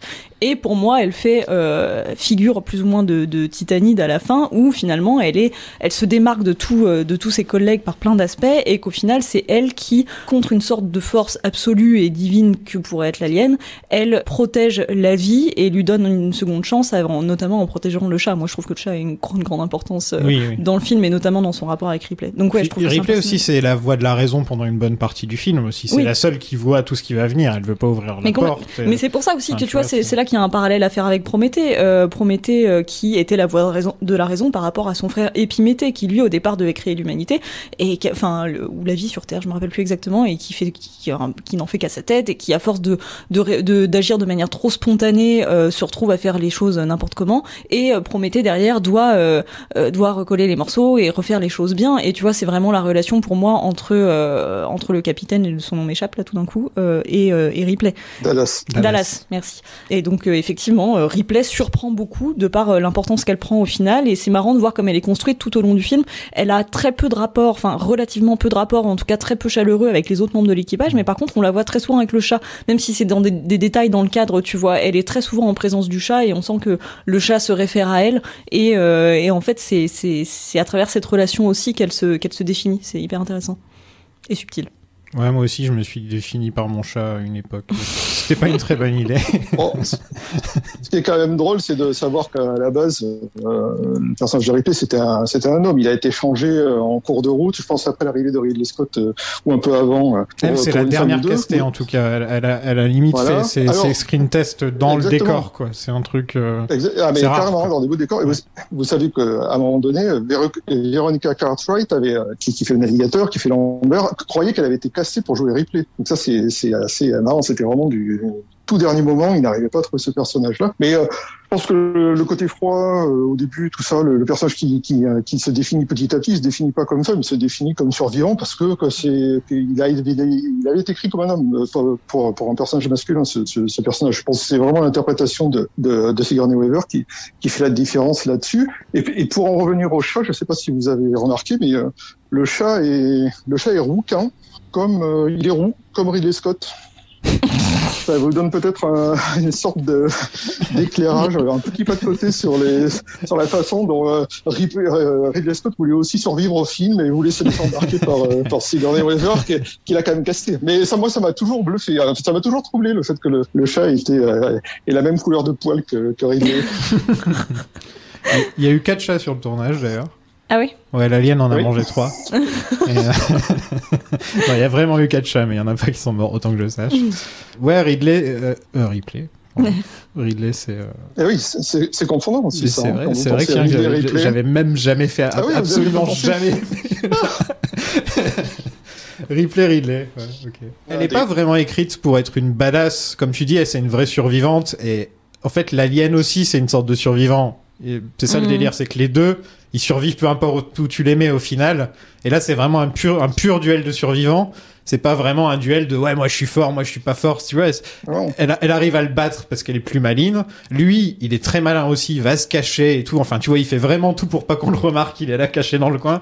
Et tu, enfin, tu vois que c'est vraiment un pur duel de survivants, quoi. Ah oui, mais on joue pas du tout Et sur les codes et les clichés d'une héroïne justement euh, Mm. euh, badass. Ça, c'est euh, dans le 2, ça. Oui, voilà, mais non, mais c'est là où tu vois aussi le 2 ça m'énerve parce que Ripley donc euh, euh, comme on le disait donc effectivement au départ elle a écrit pour être euh, elle était écrite pour être un personnage masculin et c'est pour ça qu'en fait elle est euh, dépourvue de tous les clichés que beaucoup de scénaristes hommes peuvent euh, euh, imprimer sur leur personnage masculin euh, féminin et que du coup elle est dépourvue de ça ce qui est hyper intéressant. Mais il n'empêche qu'il y a quand même aussi un discours sur les violences sexuelles. D'ailleurs le- Guillaume Cassard qui a fait des vidéos sur la saga parle très bien de ça. Et donc c'est intéressant à ce moment-là d'avoir un personnage féminin dans le dans le dans le personnage de Ripley mais par ça reste subtil on va dire et ça reste fin par rapport à l'écriture de personnages féminins très fin même alors que dans le deuxième au contraire on va revenir avec des gros sabots sur euh, le symbole de la maternité de il faut qu'elle trouve une fille de substitution etc et ça vient casser tellement tout ce que le le 1 avait de subtil par rapport à l'écriture de personnages féminins c'est bon, ça m'énerve Dans le 1, c'est Bah, juste une femme à euh, chat, quoi. elle veut pas d'enfant, elle veut juste vivre seule avec son chat, quoi. c'est ça Sur, sur le 1, euh, de toute façon, Ripley, c'est elle est bien aussi parce que c'est un, un prototype de- d'héroïne forte. C'est pas c'est pas encore devenu une caricature comme Sarah Connor dans les Terminator. En gros, c'est pas devenu un espèce de, de symbole de, de voilà, d'une espèce de, de comment de, de fantasme mal assumé de nana avec une grosse bite en fer à la, à la main qui canarde partout. Ça fait vraiment ça quoi dans, dans les Mhm. Cameron. Là, on n'est pas du tout dans ça. C'est c'est vraiment on est en train de on est en train d'inventer un nouveau mythe et, euh, et à la limite, je pense que oui, Ridley Scott en est conscient, mais il, il- voilà, il se il s'arc-boute pas là-dessus. Le- De toute façon, le, le film quand même, il faut qu'il soit hyper efficace. Et puis oui, il y a des sous-textes, mais ça va pas prendre le dessus du, du reste. C'est quand même aussi un film avec un rythme. euh, ben, en plus, plus on avance dans le rythme, plus le plus le rythme est, est- est soutenu. Donc euh, voilà. Il, il va pas être trop cérébral. En- De toute façon, le, tout, tout ce qui tout ce qui vient de Giger est tellement cérébral et tellement sexuel qu'il n'a pas besoin d'en rajouter des tos. C'est déjà assez perturbant comme ça la première fois qu'on est confronté à, à, à cette imagerie, surtout dans les années 70, quand c'est encore très neuf. Maintenant, j'en ai plein le cul de vos questions. Quoi? Qu'est-ce que j'ai dit, Rip? Si jamais vous avez un problème, vous me trouverez sur le pont. Sinon, on a qui d'autre? On a Bilbon qui est là. On a euh, Elephant Man qui est là. On a Harry Dean. Harry Dean que j'adore, moi, personnellement. Mm. Euh, Dallas, le capitaine. euh, Lambert, la, la navigatrice et seule autre femme du vaisseau. Ils sont pas beaucoup, au final, dans le vaisseau, mine de rien. Ils sont... 7, je crois. Ouais, ils ont, ils ont même tous leurs pods. Là, quand ils se réveillent, ils ont... la machine est construite juste pour 7, en fait. T'as l'impression. Oui. mm. Ouais. D'après ce que j'ai, d'après ce que j'ai lu dans des, alors j'ai, j'ai pas eu les fiches parce qu'apparemment Scott avait, avait écrit une petite biographie de chaque personnage? Pour les acteurs. Alors euh, j'ai, j'ai jamais vu, mais d'après euh, des bruits de couloir euh, vraiment euh, assez, euh, assez sérieux, Lambert était, était écrite comme un transsexuel. Euh, Une femme transgenre, ah ouais. À cette époque, D'accord. Ouais. Parce que même, Ouais. même dans Matrix en 99, ils ont pas osé le faire avec le Ouais. personnage de Switch. Ouais, c'est- tu Il comprends. devait y que avoir un martien aussi. Dans, il devait y avoir quelqu'un né sur Mars et en fait c'était un membre d'équipage qui n'avait aucune. De, c'était pas Monsieur Spock, mais il avait juste deux petits trous au niveau du, du front, mais minuscules. euh. Et euh, ça, j'ai vu ça dans une interview de Ridley Scott. Ok. Il y avait des tonnes d'idées comme ça euh, qui ont été évoquées puis qui- qu'ils ont laissé tomber. Mais en tout cas, oui, je pense que Veronica Cartwright, dans la fiche qu'elle a donnée à Ridley Scott, il y avait le fait que c'était, euh, elle était un transsexuel. Veronica Cartwright qui a été nommée pour les Saturn Awards et euh, Sigourney n'a pas été nommée. Ah ouais. Ouais, meilleur second rôle féminin, un truc comme ça. Bah écoute, euh, ça. Pourtant, elle est pas, euh, enfin, c'est pas un des personnages qui me marque le plus dans le film, quoi. Non, elle, bah moi C'est un personnage auquel le, mais le public s'est s'identifiait tellement à elle à l'époque parce que c'était un personnage qui flippait euh, complètement, Mm. qui pétait un câble. Et je pense qu'il y, avait une relation avec le public et donc peut-être avec les critiques euh, qui a été plus forte qu'à un moment donné du film qu'avec euh, qu'avec Sigourney. euh, Bah, puis elle est, elle plus dans la démonstration, effectivement, parce qu'elle joue beaucoup la peur, Exactement. elle crie, elle, elle pleure, euh, voilà, alors que euh, Sigourney Weaver, elle incarne vraiment justement la mesure, euh, la rationalité. euh, c'est Mhm. un peu moins spectaculaire, on va dire peut-être. Donc la moitié du crew embarque vers la planète dans un plus petit vaisseau et euh, l'équipage découvre une épave de vaisseau alien. Ce vaisseau, encore une fois, on dirait qu'il transpire à l'intérieur, enfin que c'est huileux, que c'est, euh, enfin. C'est dégueu. Bah, comme déjà, image. les, les- Non, mais c'est vrai. Tu connaissais pas l'histoire de la mur de, de la euh, maison qui saigne, par exemple? Si, bah, si, C'est un si, peu le même ouais, genre ouais. de délire, quoi. Mm. Sauf que là, elle sue, elle Là- pue la transpiration. les, les, les, sas, les sas d'accès du vaisseau, c'est quand même trois vulves géantes. Ouais, Ouais. mais tout, Alors, absolument tout le dans ce programme. film, quoi. Et puis c'est pareil, les œufs euh, sur lesquels vont tomber, au début ils s'ouvraient vraiment, c'était sur le dessus ils sont, c'est une croix qui s'ouvre comme ça, mais à la base c'était vraiment une vulve qui s'ouvrait en deux. Et là les, les producteurs chez Brandywine disaient non, et, et la fois que j'ai dit non non non non, mais vous pouvez pas laisser ça comme ça, on va avoir des problèmes. euh. Un peu de subtilité, euh, ça, ça a bien fait rire, euh, ça a bien fait rire Giger parce qu'il a, il a corrigé le problème, mais en, en doublant la vulve, Mm. donc ça le faisait rire intérieurement et ça c'est très bien passé. Voilà. Donc il trouve le fossile d'une créature d'au moins 4 mètres de haut, que la fandom appellera par la suite le Space Jockey ou le pilote, c'est ça?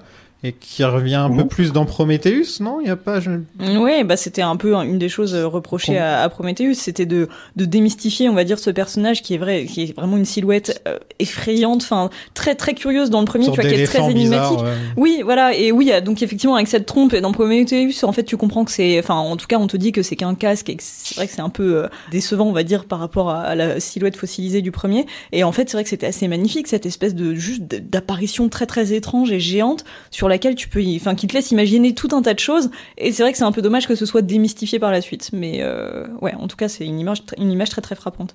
C'est vrai que Prométhée, il, il commence la première scène et il t'explique toute l'histoire de tous les films. Bah oui. Et après, t'es là, genre, bah, pourquoi j'ai besoin de regarder le reste, en Mm. fait? Euh, ouais, Très étrange, Prométhée, c'est ce que je me souviens. Dans le premier film, c'est une scène qui a failli ne pas être tournée parce que c'était une, une scène. Les producteurs disaient non, mais ça nous coûte une blinde pour euh, deux minutes à l'écran, c'est pas possible. Et c'est une des scènes qui a été tournée à la, à la toute fin parce que Ridley Scott a trouvé moyen de de reconvertir le décor de la, de la chambre des œufs en Mm. cockpit du, du Space Jockey, mais euh, il a vraiment fallu, euh, il voulait mettre, euh, bah, il voulait, il voulait signaler la présence d'un extraterrestre par une trace de pas donc de la vase. Hein. C'était, c'était limite ça, quoi. Il avait, il a failli, il a fallu qu'il se batte jusqu'au bout pour avoir ces- cette scène-là, et ça va vraiment été tourné dans les dans les dans les deux dernières semaines, je crois, euh, à Shepperton, avant que le, le tournage ne parte euh, sur le tournage des maquettes à, à Bray. C'était vraiment très chaud. C'est dommage, hein, s'il n'y avait pas cette scène-là, ça serait hallucinant. Il y aurait toute cette dimension euh, complètement euh, Lovecraftienne qui n'existerait pas du tout dans le film.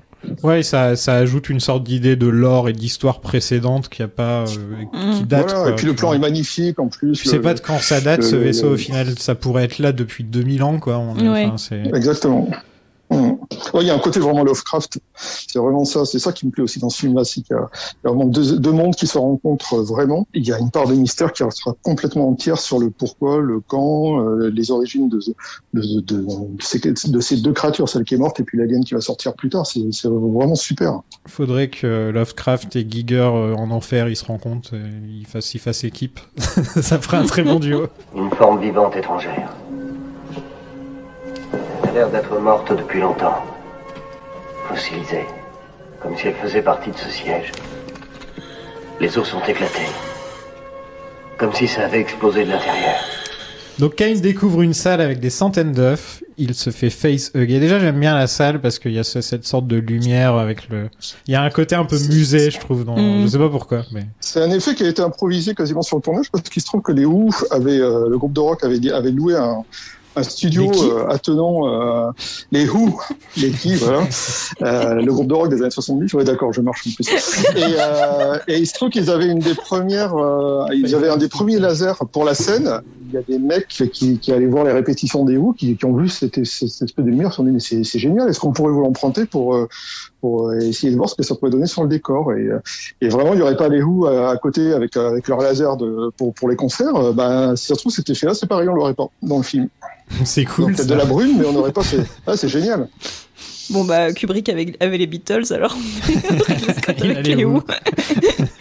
À l'origine, le facehugger devait être bien plus gros. Je sais pas si vous avez vu les concept arts, mais c'est vraiment un gros truc euh, qui prend tout le visage. Enfin, et au final, moi, un facehugger, ça me fait toujours penser. J'ai déjà vu un chat faire ça à quelqu'un une fois, l'attraper comme ça.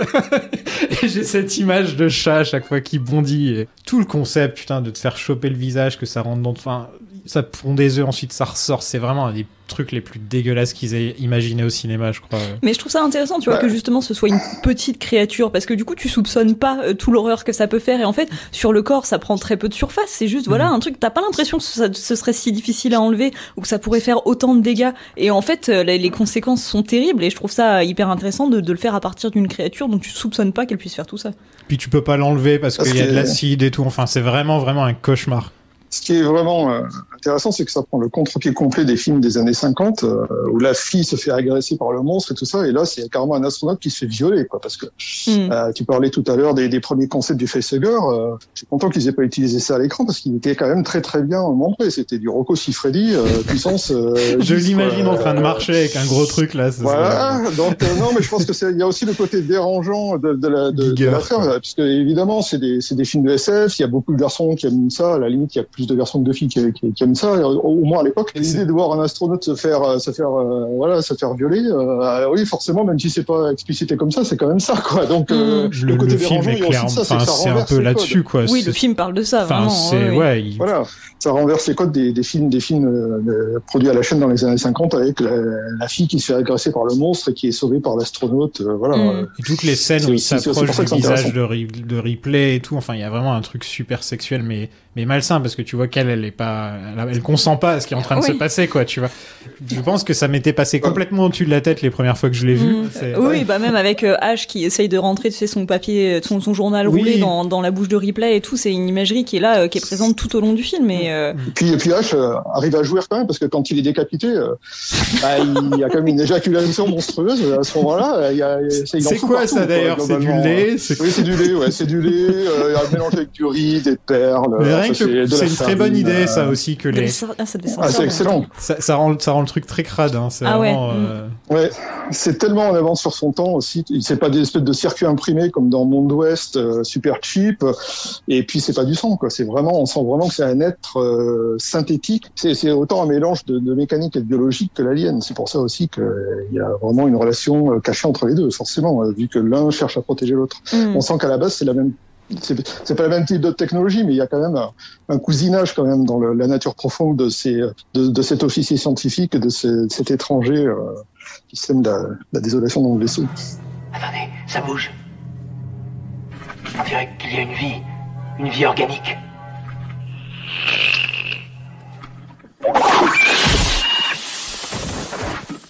Donc il finit par lâcher Kane et mourir. Et tout le monde est content, ouais, c'est bon, tout va bien. voilà quoi. Il était juste là pour faire un câlin et après il en a eu marre. La scène où ils sont en train de, de disséquer la bestiole, je sais pas pourquoi je la trouve toujours super. euh, Ça, ça ressemble à une huître dégueulasse quoi. Enfin, il- Ils ont fait ça avec des coquillages. Ouais, C'était voilà, une- ça se le- voit, le- quoi, c'est vraiment, euh, C'était une, c'était une coquille vide. Et ils ont rempli ça d'huîtres qu'ils ont découpées, de palourdes, de tout ça. Et donc- du coup, tout est découpé en tranches. Et effectivement, quand on le sait, on voit. On se dit ah ben oui, forcément. Mais même en le sachant, c'est euh, c'est c'est fascinant parce qu'il y a des reflets de lumière super beaux dedans. On sent que c'est humide. Voilà. C'est hyper euh, hyper réaliste. Ça fait pas un bout de plastique qu'on essaie Non, de c'est soulever. vrai, quoi. ouais. C'est-. Bah, Comme je disais, tout a l'air très palpable dans ce film, quoi. C'est tout a l'air vrai, quoi. Mm. Et j'espère que ça existe pas quelque part dans la galaxie qu'il n'y a pas ce genre de bestiole, quoi. Parce que... Alors ça existe au niveau des insectes. Hein. Il, y a des, il y a des champignons Oui. qui, euh, qui, qui colonisent des insectes et qui s'en Mm. servent comme, euh, comme véhicule. Ça devient des insectes zombies avec le champignon qui, euh, qui pousse. Et il y a des guêpes aussi, je crois, qui font ça, euh, qui, qui paralysent une proie, qui pondent des œufs à Et l'intérieur. ouais. Et l'œuf se, et l'œuf se, se nourrit de la proie qui reste vivante jusqu'au dernier moment. Sympa les, sympa les insectes. Oui, vraiment. Donc l'équipage reprend son chemin vers la Terre et après pas mal de débats, hum, parce que Ripley c'est un peu la seule à comprendre la gravité du truc, quoi. Kane se réveille et là, bah, une des meilleures scènes du cinéma. Mais est-ce que c'est vrai Est-ce que c'est vrai l'histoire comme quoi ils étaient pas au courant de ce qui allait se passer?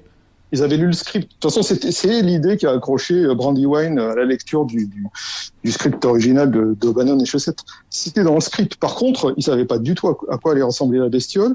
Ils ont commencé à avoir euh, monté la- l'appréhension quand ils sont arrivés sur le plateau et qu'ils ont vu le, toute l'équipe technique recouverte de ponchos, de toiles euh, en plastique et tout ça. Ils savaient pas du tout à quoi ça allait ressembler. Bon, passé le premier choc de la première scène, quand il a fallu la refaire, la refaire une ou deux fois pour d'autres plans, d'autres angles et tout ça, il y avait- plus le. Mais euh, il y a, y des, des réactions euh, qui sont qui sont vraiment dans le film, notamment. Euh, du fait que la, petite bestiole sort de, de, la poitrine, elle, sortait de la poitrine de, de John Hurt en, en direct sur le plateau.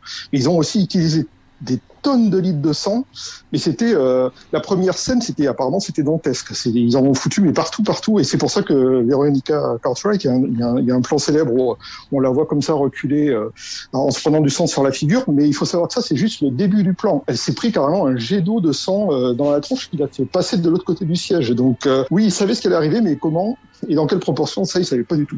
Bah, et puis en plus, il me semble que euh, c'est une scène qui pouvait pas être refaite, enfin en tout cas pas le, le vraiment euh, le l'explosion de la paroi ventrale, on va dire, parce que euh, ils pouvaient pas re- refaire les, les accessoires, les et, euh, et si, en si, fait. si, si, ça.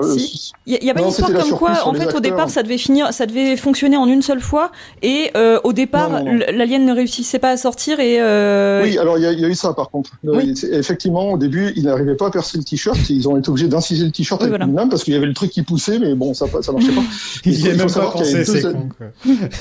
Oui, ben voilà, le t-shirt était trop résistant, mais non, non, ce qui pouvait pas être refait deux fois, c'était la, la surprise provoquée euh, sur le visage des acteurs. Oui. C'est pour ça que c'est précieux parce que le visage de Dallas et de, de, et de Harry Dean Stanton sur les côtés, tout ça, euh, quand voilà, le, une fois qu'ils ont, ils- on les voit, ils sont hébétés, ils sont, ils sont complètement, ils n'ont pas compris ce qui leur est arrivé. Et ça, effectivement, ils n'auraient pas pu le refaire deux fois parce que bah, la surprise, par principe, ne fonctionne qu'une seule fois. Mais Mm. après, il y a eu des Je crois qu'il y a eu deux trois prises parce qu'il y avait d'autres angles. Il y avait trois chestbusters qui étaient prévus. Il y avait celui qui qui est passé au travers de la poitrine, qui était très sommaire, qui, qui était sur un, un terrain hydraulique. Il y avait le deuxième qui est articulé qu'on voit crier. Il y en avait normalement un troisième qui devait courir sur la table et qui, qui était beaucoup plus basique et ça ne fonctionnait pas et du coup ils ont utilisé le le deuxième avec avec la, la bouche articulée. Voilà. Et ils ont pris une pour la petite histoire, ils ont pris une. C'était pas du tout, euh, c'était pas assez violent quand ils couraient sur la table, donc ils ont pris une queue de, de, de chestbuster. euh, Ils avaient en rab, ils ont passé un tuyau avec de l'air comprimé dedans, et en fait, il suffit d'imaginer qu'en fait c'est euh, un chestbuster avec une queue euh, derrière collée rafistolée et dessous un mec sur une planche à roulettes qui est tiré euh, sous la table. Quoi. Voilà, c'est quand on y pense, c'est grotesque, mais à l'écran, ça marche super bien. Ouais. C'est génial. Ouais, c'est marrant parce que à chaque fois que je l'ai revu avec des gens qui le découvraient, ils rigolaient à, à l'alien qui court en fait. Ouais. mm. Genre c'est la scène qui les fait rire. Bah, il y avait une parodie dans euh, Spaceballs sans aller jusqu'au bout du truc où l'alien sort avec un petit canotier euh, et fait un numéro de, de musical. Non mais je sais pas, je, je, je- sais pas pourquoi. euh, c'est peut-être parce qu'il fait un petit cri genre comme ça et je crois que ça le rend mignon. Ah, mignon, je sais pas, mais je pense que tu sais, il y a un peu le, le côté euh, descente. Une fois que t'as eu genre une grosse surprise, euh, une frayeur comme Ouais. ça, genre un peu horrifique et tout. Après, t'as la redescente Oui, oui, en mode ça. bon voilà, tu vois, t'as un rien nerveux Quand aussi. il sort et tout, ouais. t'es là genre oh putain et Mm. ensuite tu le vois il fait. Genre, Vous savez quand même que le, le chestbuster et le, le n'ont pas été conçus par Giger. Ils ont été fabriqués par, euh, par, quelqu'un qui s'appelle Roger Dickens sous supervision de Ridley Scott parce que Giger ne pouvait pas tout faire. Il, devait se concentrer sur l'alien adulte. Et figurez-vous que Dickens était quand même un spécialiste des dinosaures. Il avait bossé sur des, des films pour la BBC, ce genre de trucs-là. Et à la base, j'ai vu des photos, notamment une photo euh, qui est dans un bouquin de Giger. Le chestbuster a des petits bras et des, des yeux plumes. globuleux à la Kermit, à la Kermit la grenouille. Et Je je, veux voir pense que là, film. on aurait eu. Je croyais que Ça t'allais dire horrible, comme les dinosaures, euh, il, il va, il aurait pu avoir des plumes et je, je- ça aurait été génial. Bah, l'alien avec quand même pas, plumes. mais il avait deux petits bras pour sortir de la plaie ouverte. Il avait deux yeux, mais Kermit la grenouille. Ah, Hallucinant. mais c'est euh, grotesque à souhait. Ça aurait, été- ça aurait été génial quelque part, mais euh, ça aurait pas du tout eu l'effet escompté sur le public, je A- pense. Alien aurait pu être tellement d'autres films que ce qu'il est devenu en définitive. C'est incroyable. C'est vrai. Bah, c'est un petit miracle. De toute façon, euh, comme dit Scott, euh, ils avaient un, un, un tournage, c'est un tournage tellement serré, tellement sur euh, corde raide que qu'ils pouvaient pas revenir en arrière. C'est pour ça qu'il y a un ou deux effets qui sont un peu ratés, comme la tête de hache qui fait un peu plastique sur un plan ou deux. Ils avaient pas le temps. Ils pouvaient pas refaire. Il fallait qu'ils avancent, qu'ils avancent, qu'ils avancent, qu'ils avancent. Il y avait des problèmes de budget. Des fois, ils tournaient des, des, des plans dans des décors alors que le décor à côté était encore en travaux, notamment toutes les scènes de cockpit euh, au début du film. C'était les premières scènes tournées. Et euh, il paraît que sur certains plans, on entendait les, les, les charpentiers parce qu'ils étaient en train de bosser sur de finir la cuisine qui était à, à 15 mètres de là. Même si le budget était assez conséquent, ça, ça, il y avait zéro gras dans le budget. Ils étaient obligés d'avancer et de faire avec ce qu'ils avaient. Le, le, le gros avantage de Ridley Scott, c'est qu'il avait une, une équipe hyper expérimentée autour de lui, dont une partie des directeurs artistiques qui avaient bossé sur Star Wars et qui avait quand même euh, beaucoup de beaucoup d'heures au compteur. Et puis comme m'a dit un, un technicien avec qui, avec qui j'ai eu la chance de, de, de papoter il y a une dizaine d'années, il m'a dit de toute façon, il était tellement passionné, Ridley Scott, on, on serait mort pour lui. On, on- ils lui ont tout donné. Ils ont vraiment, euh, ils- toute l'équipe technique s'est défoncée sur le film parce qu'ils sentaient vraiment que ça allait être quelque chose d'exceptionnel.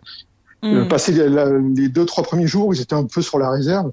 Ils ont vu ce que ça donnait sur les rushs. euh, ils y sont allés à fond, tous.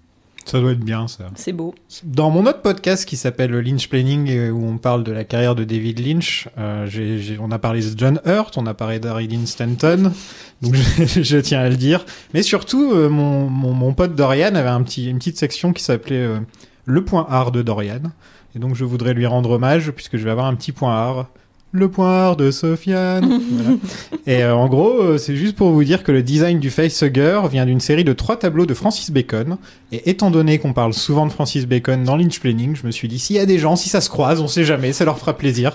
Francis Bacon, si vous connaissez pas, c'est... euh, Moi j'adore, hein, perso. Mais c'est enfin, c'est très dark, difficile à décrire. On le retrouve, euh, on le retrouve bien le facehugger. Bon, à part, il y en a un qui a des oreilles, il y en a trois sur la toile, mais Ouais, qu'il y en a un qui a des oreilles sur les côtés. c'est Non, bien. mais tu sens que c'est ils, ils ont pris le concept de base Ah oui, et ils ont fait un truc plus Giger avec, quoi, tu vois, voilà. Ouais. Ah oui, complètement, complètement.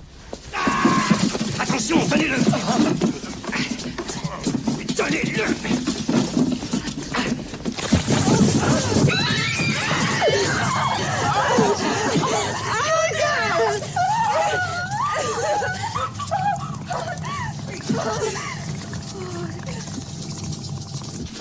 Walker, ne le touche pas, non, ne le touche pas, ne le touche pas.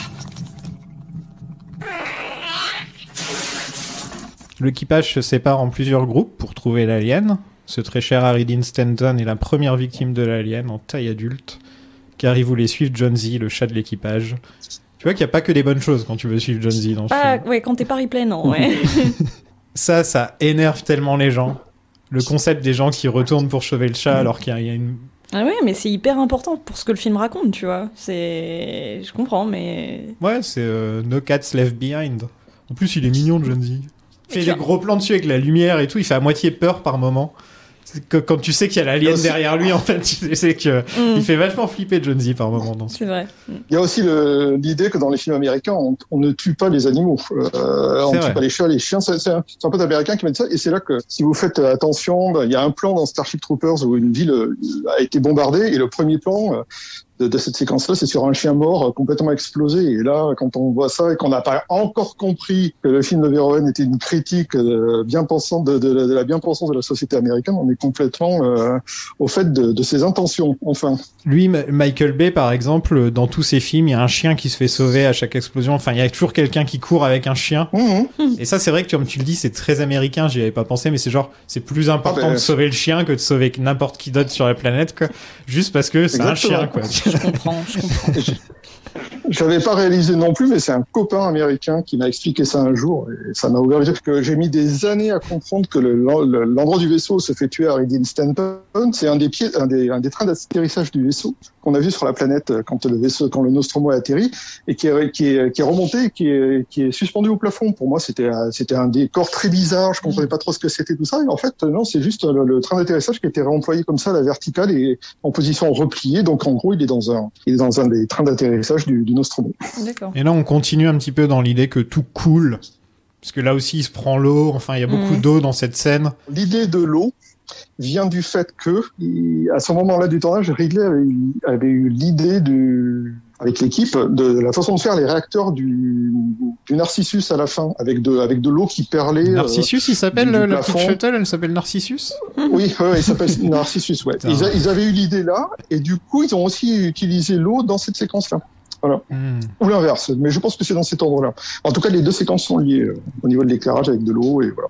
Et même, même quand on y pense, le coup des chaînes, euh, le coup des chaînes dans le vaisseau, ça sert absolument à rien, mais ça, ra- C'est ça cool. rajoute quelque chose. Un cool. peu, ben, ça fait un peu. euh, Le voilà, bruit et- et tout. mais il n'y a rien, il y a juste le tintement. Exactement, ça ajoute beaucoup à la tension. Et puis le fait qu'ils mettent la tête en arrière, qu'ils s'aspergent le visage, on dit non mais il faut que ça, il faut qu'on en finisse, il faut que ça, voilà, on sait qu'il va se faire attaquer, mais qu'on en finisse. Et ça s'étire à l'infini. C'est presque du Léon. On se croirait presque au début de Il était une fois euh, dans l'Ouest, la scène où les, les trois les trois tueurs attendent Mm. dans la gare. Mm. C'est ça a un côté un peu comme ça. Parlons du design euh, culte du xénomorphe. Parce que oui, il s'appelle le xénomorphe. Voilà. Non, pas dans Alien. Alors la pitié, le xénomorphe, c'est dans le deuxième film qu'on C'est dans le commence à comme ça. On ne l'appelle jamais comme ça dans le premier. Je sais, je suis un peu un, ayatollah des fois du premier film, mais non, il est jamais appelé comme ça dans le premier film, jamais.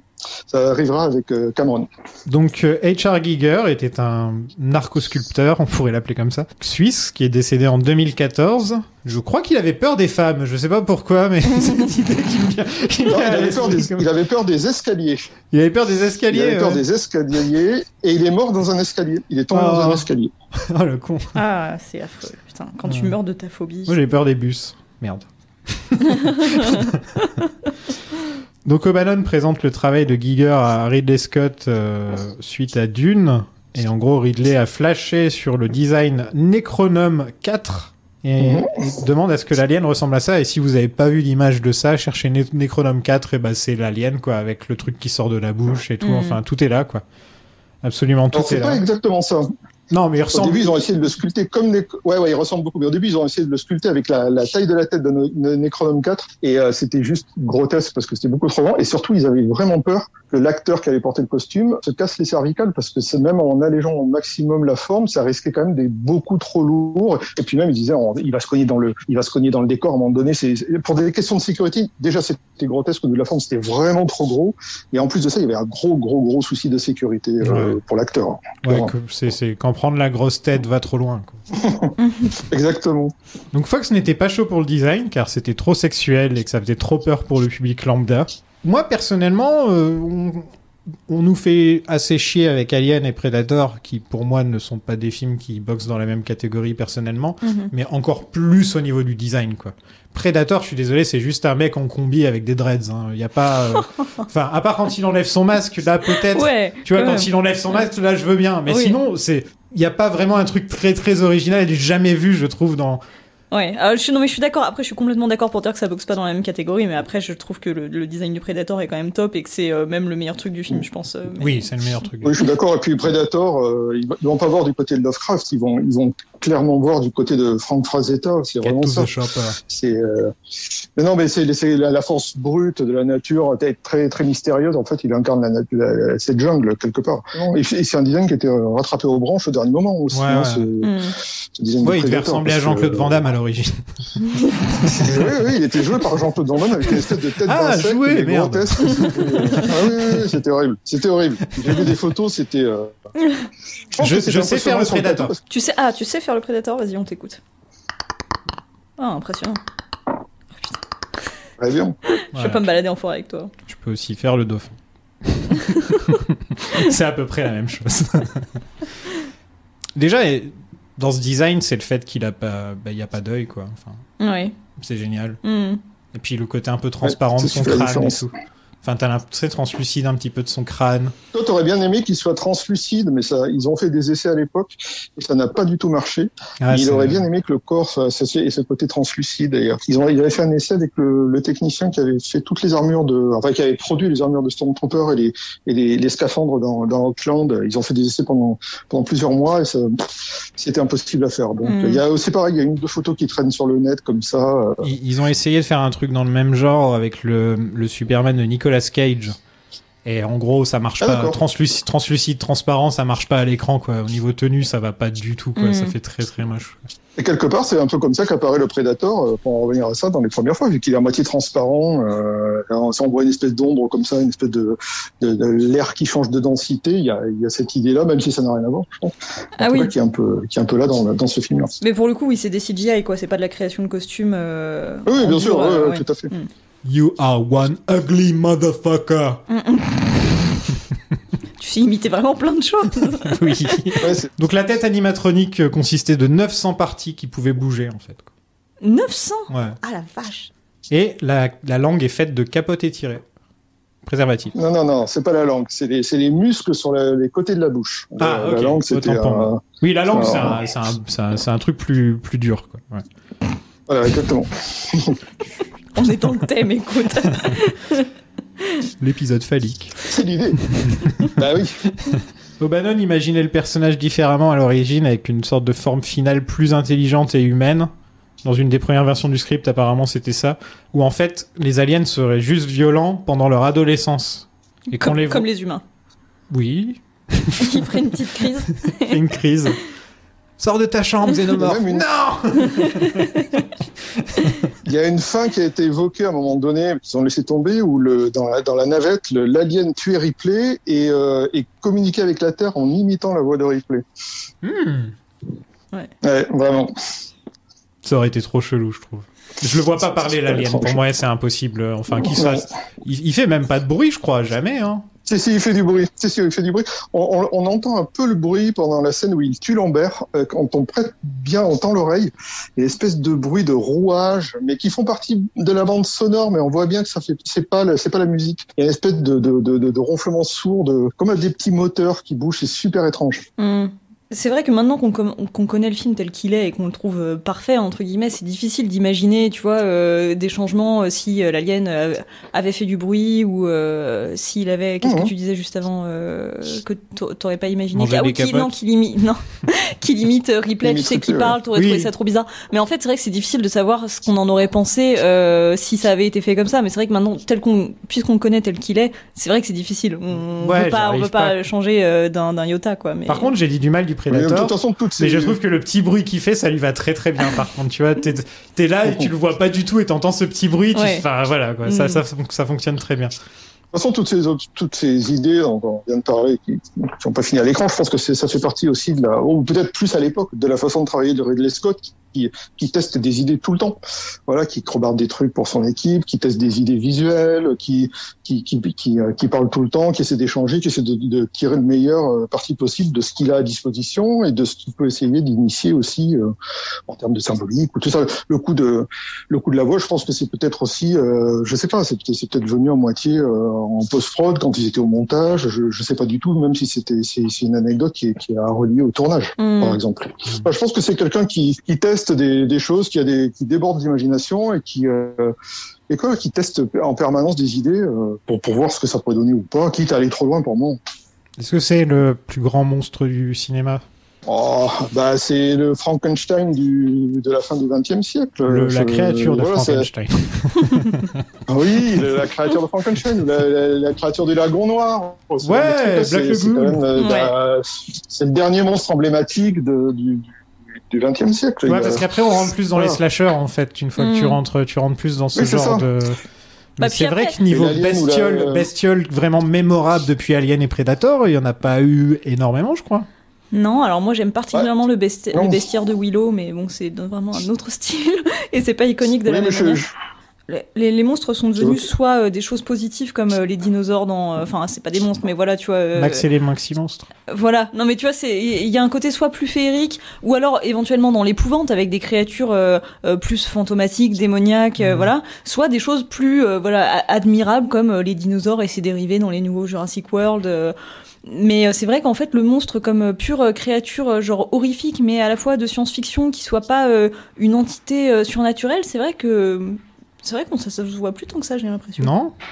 Bah, c'est surtout, euh, moi j'évoquais la créature de Frankenstein parce que je pense que on parle d'Alien ou de, de Frankenstein, de créature de Frankenstein, c'est tout, tout le monde voit. De, je, je, je- ça doit être très rare que personne ne sache à quoi ça fait référence. Mm. Ouais. Euh, tout le monde visualise quelque chose et euh, même la créature du lagon Nord, je suis pas sûr que tout le monde sache à quoi ça ressemble, Non. ce que c'est. Et Plus aux États-Unis un peu plus, je pense mais que c'est- ici pas trop. Quoi. oui, bien sûr, mais euh, Frankenstein Alien, euh, bon, ben, je pense que c'est le, le, le monstre du début du XXe siècle et le, et le monstre du, de la fin du XXe siècle. Mais entre les deux, oui, il y, a des, il y a des trucs vachement bien, mais rien qui ne parle à, à ce point-là à, à un maximum de, gens.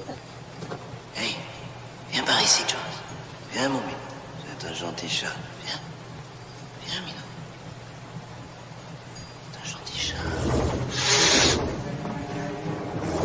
Allez, viens. Jones. Viens.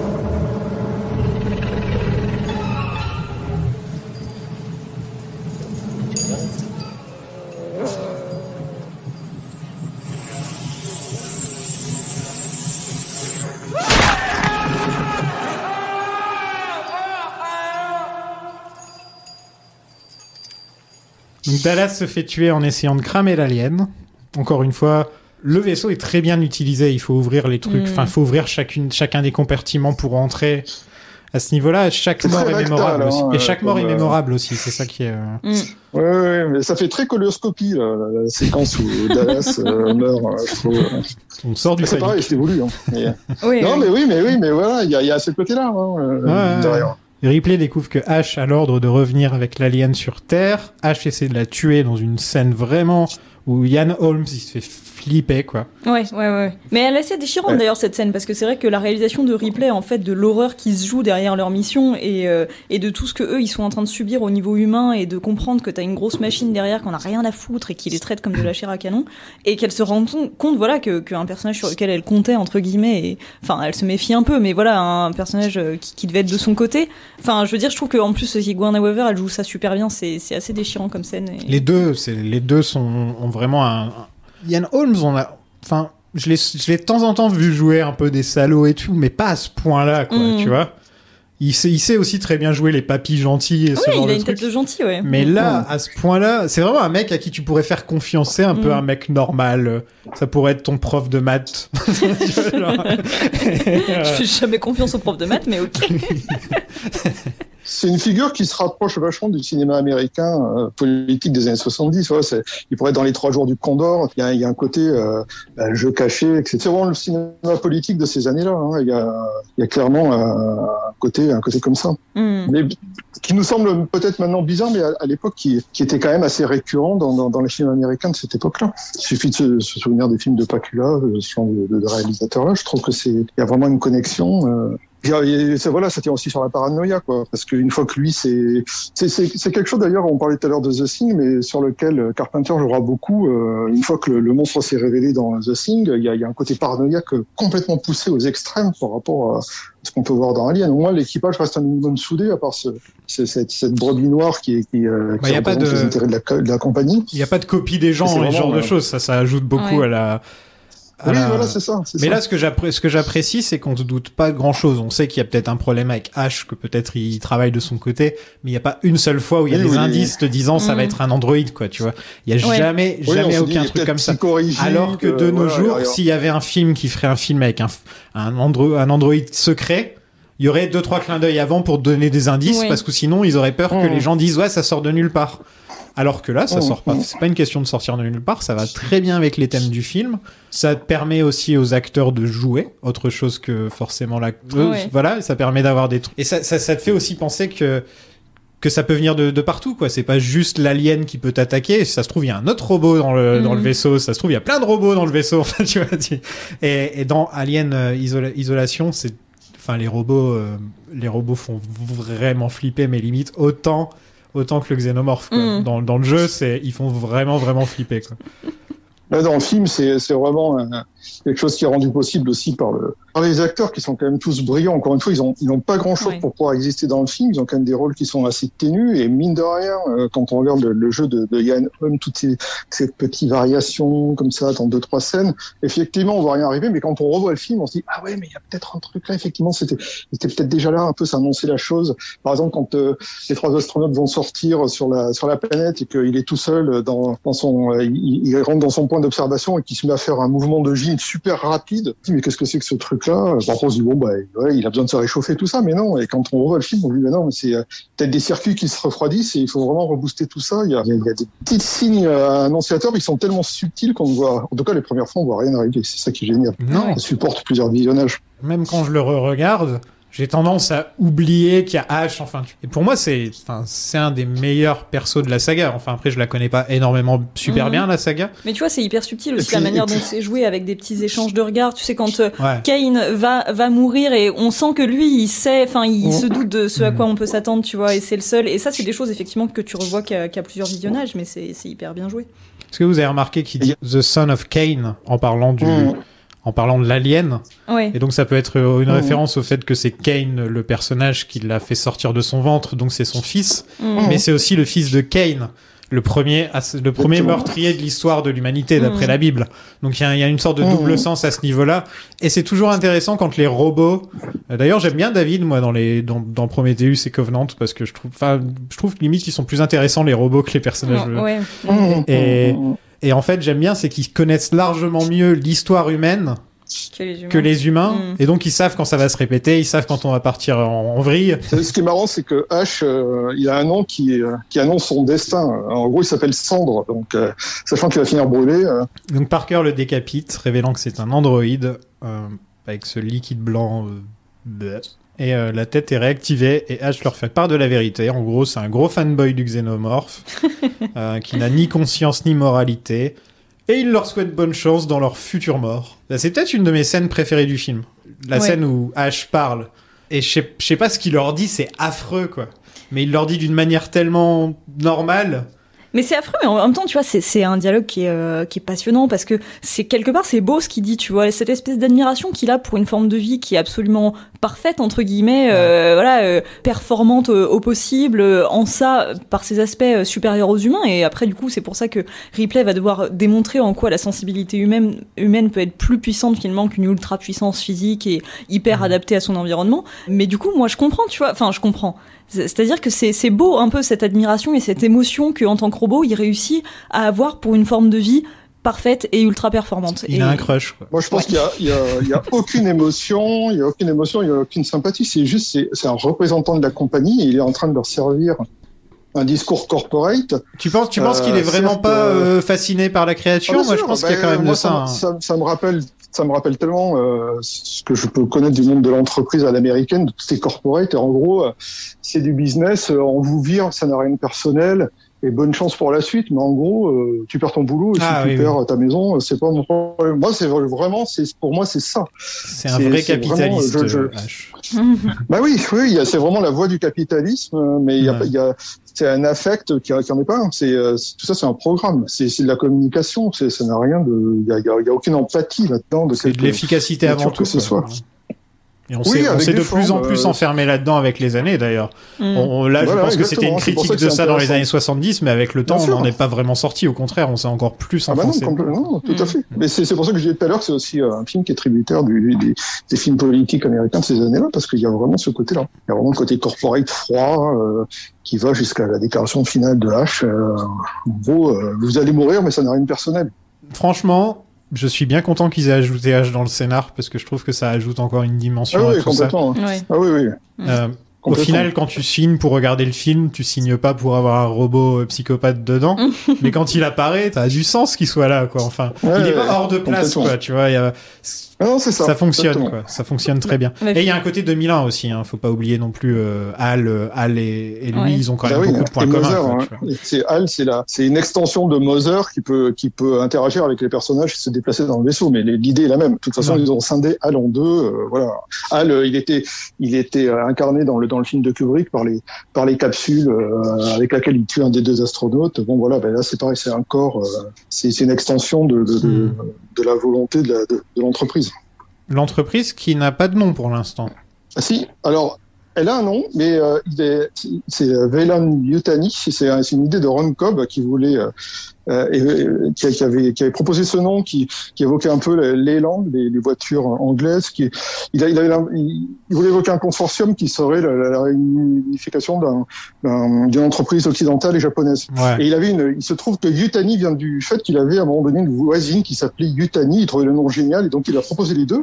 Et euh, on ne voit du tout le nom de la compagnie, mais il est quand même présent sur les boîtes de bière que l'équipage boit pendant les repas. Alors c'est un, un détail qui n'est absolument pas visible dans le dans le film. Mais en tout cas, ça veut dire aussi que l'équipage, en tout cas toute la nourriture qui est qui est, qui est servie à bord, tous les objets, tout ça, tout est labellé, du nom de la compagnie. C'est vraiment, euh, ils en portent sur eux, les petits les petits insignes avec les avec les ailes de pilote, tout ça sur les vestes, tout ça, c'est le, le symbole de la de la compagnie. Et elle est elle existe, mais elle est pas, euh, en tout cas, on n'en parle pas en tant que telle. Interface 2037, posez votre question. Demande éclaircissement sur l'incapacité de neutraliser l'étranger. Impossible de donner éclaircissement. Demande explication. Pas d'explication. Ordre spécial 937 uniquement pour officiers scientifiques. Ordre d'urgence 10 0375. Quel est l'ordre spécial 937 Nostromo dérouté sur nouvelles coordonnées. Chercher forme vivante. Prendre spécimen. Priorité numéro 1, assurer retour sur Terre de cet organisme pour analyse. Toute autre considération est secondaire et l'équipage peut être sacrifié.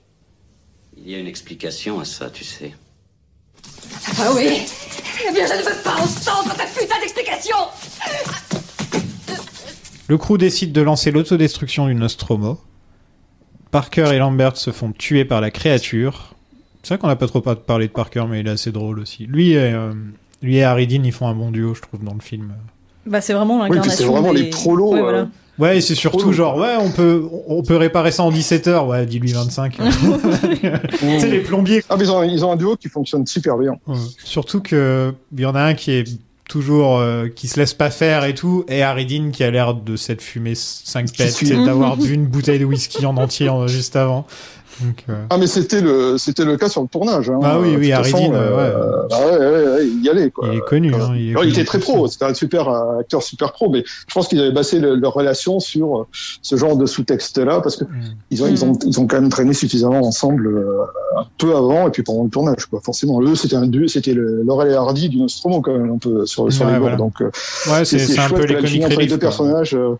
Euh, Mm. Ouais, c'est ça, c'est bien- c'est c'est super que la chimie entre les personnages fonctionne parce qu'encore une fois, bah, c'est pareil, ils n'ont pas 10 000 scènes pour pour pour euh, pour développer ça. quoi. C'est c'est c'est c'est admirable comme ça marche bien. C'est du comic relief qui est pas qui est pas gratuit parce que vraiment effectivement c'est un discours Oui, sur les différences entre classes sociales, euh, sur euh, c'est un- tout un discours politique. euh, ouais, c'est c'est du comic relief signifiant et, et c'est pareil subtil. quoi. Enfin comme dans le reste du film, j'arrête pas de dire ça, Exactement. mais très subtil quoi.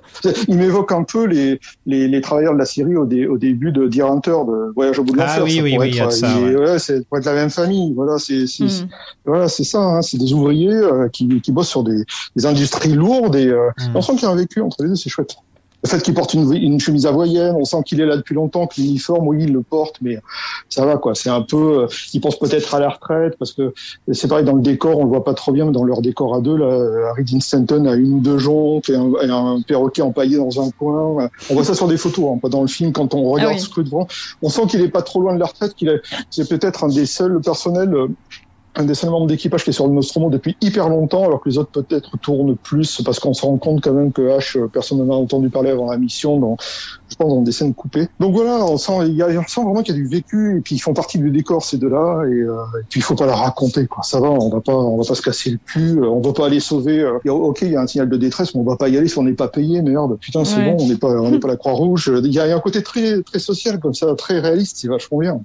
C'est Roger, Roger Ebert, le critique américain, qui a dit, euh, qui- qui- parce que j'ai lu sa critique, j'essaie de lire ses, ses critiques de temps en temps pour voir ce qu'il raconte. mhm. Et bon, bien sûr, il a adoré le film, mais il dit qu'un truc qui fonctionne bien avec le cast, c'est qu'il y en a aucun qui est vraiment très jeune. C'est que c'est tous des gens Ouais, c'est 30, vrai. 40 ans, voire, enfin, il, listait justement l'âge de chacun des acteurs, mais tu vois, Ian Holm, euh, Harry Dean, euh, le, le gars qui joue Dallas, enfin, tu vois, ils sont, Mm. c'est tous Mhm. des, c'est tous des gens qui ont déjà de la bouteille, quoi. C'est c'est pas, euh, Ouais, c'est ouais, pas ouais. genre on va mettre un jeune cast de jeunes premiers euh, dans l'espace. Euh, Oui, tu sens que vraiment c'est euh, le réalisme du truc, quoi. Mm. Bah, Oui, c'est important pour le discours de social aussi. seconde zone. euh, Voilà. Et je pense que dans le, tout à l'heure, je parlais des fiches qu'avait filé euh, Ridley Scott aux acteurs, mais je pense que le personnage de Dallas, euh, normalement, il n'était pas censé porter une, une barbe et une moustache parce que ça fait pas partie de, du code euh, corporel de la compagnie, mais il les a laissés pousser parce qu'au bout d'un moment, ça va, quoi. Euh, Ouais. Il est loin de, il est loin de la terre, de, de la hiérarchie. Ils ont un côté un peu dépenaillé, on sent qu'ils sont crevés. euh, Ils font leur taf parce que- qu'il faut le faire, mais euh, franchement, euh, pff, ils en ont rien à foutre. Surtout au début, c'est j'a- j'adore les scènes de début quand ils, ils viennent se réveiller, ils cherchent où ils sont, tout ça, ils sont un peu blasés, mais ils sont pros, mais faut faire le taf. Mais euh, qu'est-ce que c'est chiant ce taf? C'est c'est pas les astronautes de la NASA dans les années 60 ou c'est pas les astronautes de 2001 le ciel de l'espace. C'est les- Ils sont quand même assez euh, pro, froid et tout ça. Là, pff, on sent que c'est un boulot comme un autre. Quoi. C'est euh, voilà, ils tirent leur temps euh, jusqu'à ce qu'ils puissent rentrer. Et puis euh, il faut faire le taf, on y va. Mais il n'y a pas d'enthousiasme. euh, Oui. aller sur la planète. il Y a... Il s'agit Voilà. pas du tout de Ouais. faire rêver sur le métier euh, d'astronaute ou voilà, c'est c'est vraiment euh, dans ce futur, c'est un boulot comme un autre et c'est chiant et c'est tout quoi. Oui, et d'ailleurs, tiens, je, pour re- rebondir sur ce que tu dis, tout à l'heure, je parlais de, pour moi, le, le fait qu'A- qu'Alien soit une réponse punk au 2001 de, de, de Kubrick un peu mais il faut dire en plus que 2001 arrive juste un an avant qu'on débarque sur la Lune, et Alien arrive à peu près euh, cinq ans après qu'on ait arrêté les missions euh, spatiales sur la Lune parce qu'elle coûtait trop cher, et plus personne ne les regardait. Donc il y a un côté désabusé aussi là-dessus euh, par rapport à la, à, la, à la conquête spatiale, en, tout cas tout ce qui tournait autour de la Lune. C'est Ridley Scott qui a tourné en fait. On dit tous que c'est Kubrick, Oui. mais en fait c'est Ridley Scott, on n'est pas au courant. Mais Et ça se trouve, c'est lui, ouais. donc il y a une grosse scène de tension avec Ripley qui revient pour sauver John Z avec un lance-flamme et qui essaie d'annuler l'autodestruction. J'ai- j'ai- J'aime beaucoup ces scènes. Déjà, bah là on arrive vraiment dans ce que le but du film, un contre un. Mm, Enfin, tu vois, c'est limite ça le Mm. but du film, quoi. C'est un contre un et un chat. et là, on y arrive enfin.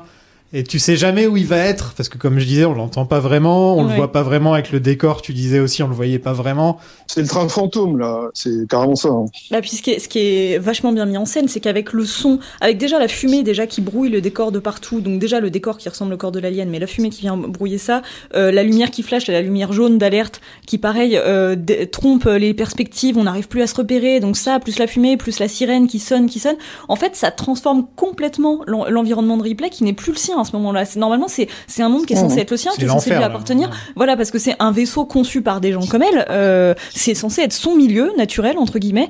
Et à ce moment-là, il est complètement transformé. Ça devient le milieu naturel de l'alien dans lequel elle se retrouve plongée et complètement démunie. C'est un retournement qui est, qui est fait par la mise en scène et c'est c'est magnifique.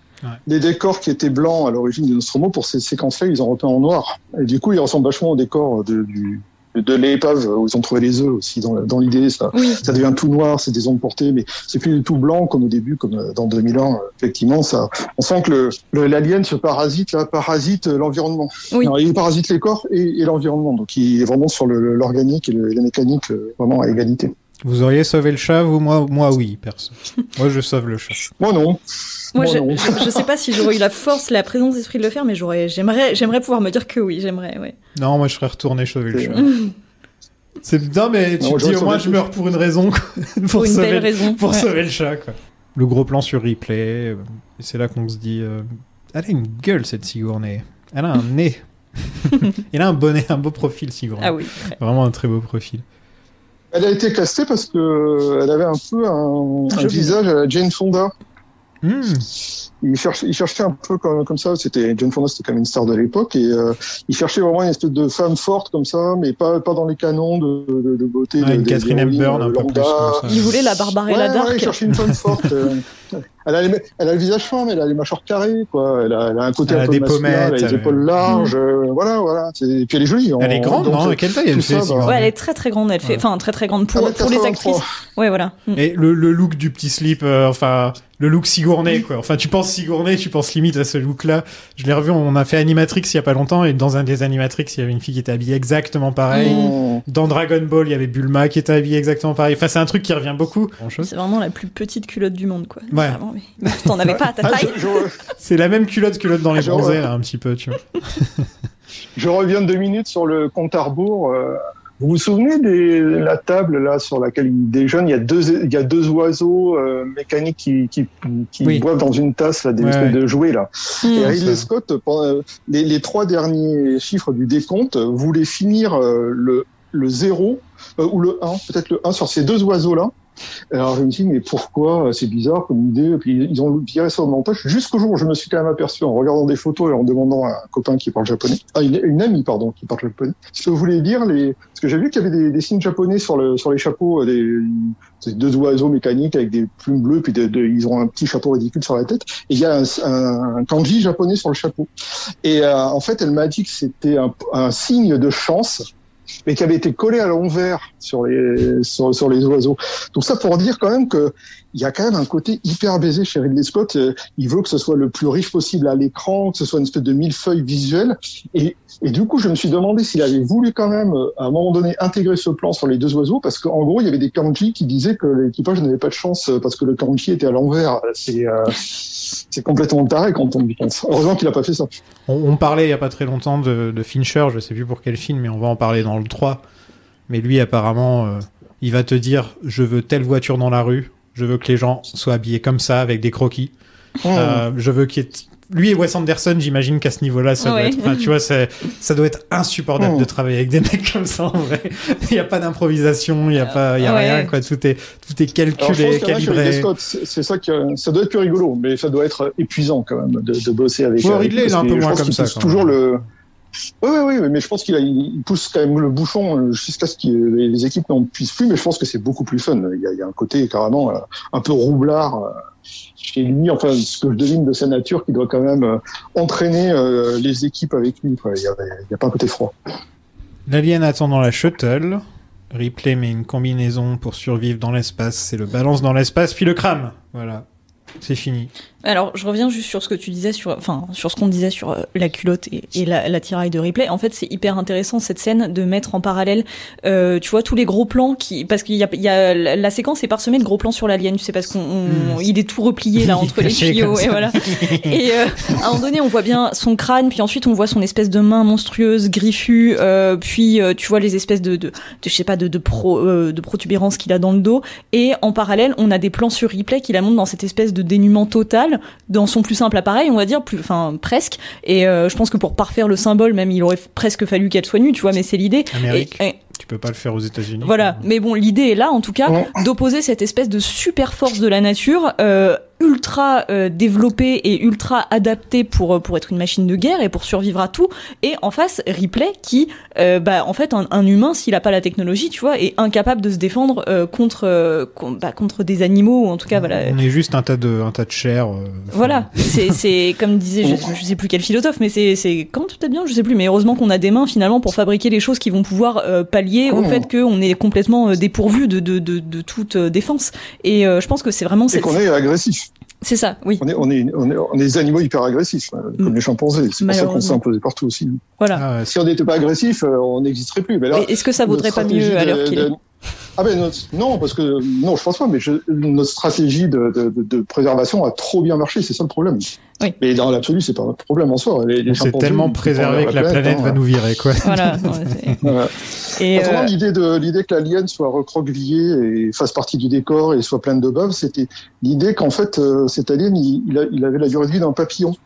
Il était euh, il, il vivait une journée et en fait euh, c'est pas expliqué comme ça, mais c'était l'idée qui sous-tendait la scène, c'est que en fait il, il commençait à se, à, se, à, se, à se remplir de bave et tout ça, il allait se transformer en œuf comme les œufs qu'on avait trouvés au début dans le dans, dans l'épave. C'était Ah, l'idée qui sous-tendait la scène. euh, voilà. Moi, moi j'avais plus l'impression qu'il il, il allait se cacher en hibernation ou un truc comme ça.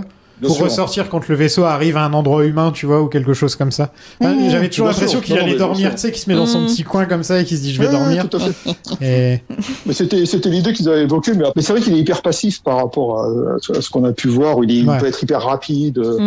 Et là, on se dit mais pourquoi pourquoi est-ce qu'il la laisse tranquille? C'est bizarre. quoi. Il faut vraiment qu'elle l'embête et qu'elle lui ba- balance des, des, des, des jets de, de fumée brûlante tout ça pour qu'il il sorte vraiment de sa de sa tanière. Quoi. Donc euh, voilà, c'était euh, ça, ça prête euh, l'interprétation. On sait pas trop pourquoi, mais c'était l'idée principale en tout cas.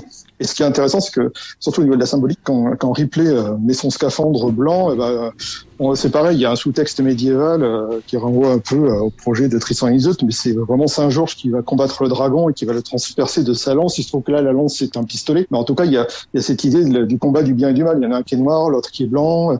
Celui qui est blanc, bah, c'est une armure, euh, c'est un, c'est un, un scaphandre d'astronaute qui ressemble à une armure médiévale. Bon, bah, il y a, il y a aussi une symbolique là. euh, qui est à l'œuvre, mais euh, qui est pas forcément, euh, qui, qui, qui nous est pas balancé sous le nez comme ça, mais qui marche très bien aussi pour ces, pour ces raisons-là, je pense. Oui, bah justement, c'est de ça dont j'allais parler parce que finalement, moi, la combinaison, c'est fascinant euh, la manière dont elle est mise en scène parce que en fait, il y a des plans qui vont reprendre notamment sur les espèces de tuyaux qu'elle a derrière son casque, etc. Des gros plans qui vont reprendre les gros plans Mhm. qu'on avait avant sur les protubérances de l'alien. Et en fait, au moment où elle enfile sa combinaison, elle se met quasiment au niveau physique de l'alien, tu vois. C'est-à-dire qu'elle elle s'augmente Mhm. pour arriver au niveau physique de l'alien, entre guillemets, en tout cas pour qu'il y ait un parallèle qui se fasse euh, entre les deux et que les cartes soient rebattues. Et à partir de ce moment-là, où euh, voilà, le, le- on- les choses sont remises à plat, euh, là c'est là que sa, son intelligence, on va dire, et sa sensibilité vont faire la différence et qu'elle va pouvoir le battre. Et enfin là on revient Ouais, euh, pour moi dans le discours prométhéen, etc. Mais mais c'est hyper bien fait. Et Cameron refera ça de manière euh, beaucoup moins subtile à la fin de Aliens, du 2, où alors pareil, elle s'augmentera dans un gros Oui. robot Exactement. jaune, et ce sera le même principe. Mais en plus, en plus, euh, plus de muscles, des trucs comme ça, parce que c'est une reine alien, c'est pas un alien normal, mais euh, voilà. Mm. C'est là où Cameron va vraiment donner aux fans vraiment ce qu'ils veulent en, en calquant quand même les passages obligés, euh, quitte à, à vraiment trop calquer. Mais sur le premier film, tout en apportant sa touche. Ouais. Dernier rapport du véhicule commercial Nostromo. Troisième officier au rapport. Les autres membres de l'équipage. Kane, Lambert, Parker, Brett, Ash et le capitaine Dallas sont morts. La cargaison et l'appareil détruits. Je devrais atteindre la frontière dans moins de six semaines. Avec de la chance, le réseau devrait me repérer. Ici Ripley, dernier survivant du Nostromo. Bon, qu'est-ce que vous avez pensé de ce revisionnage d'Alien? Euh, moi?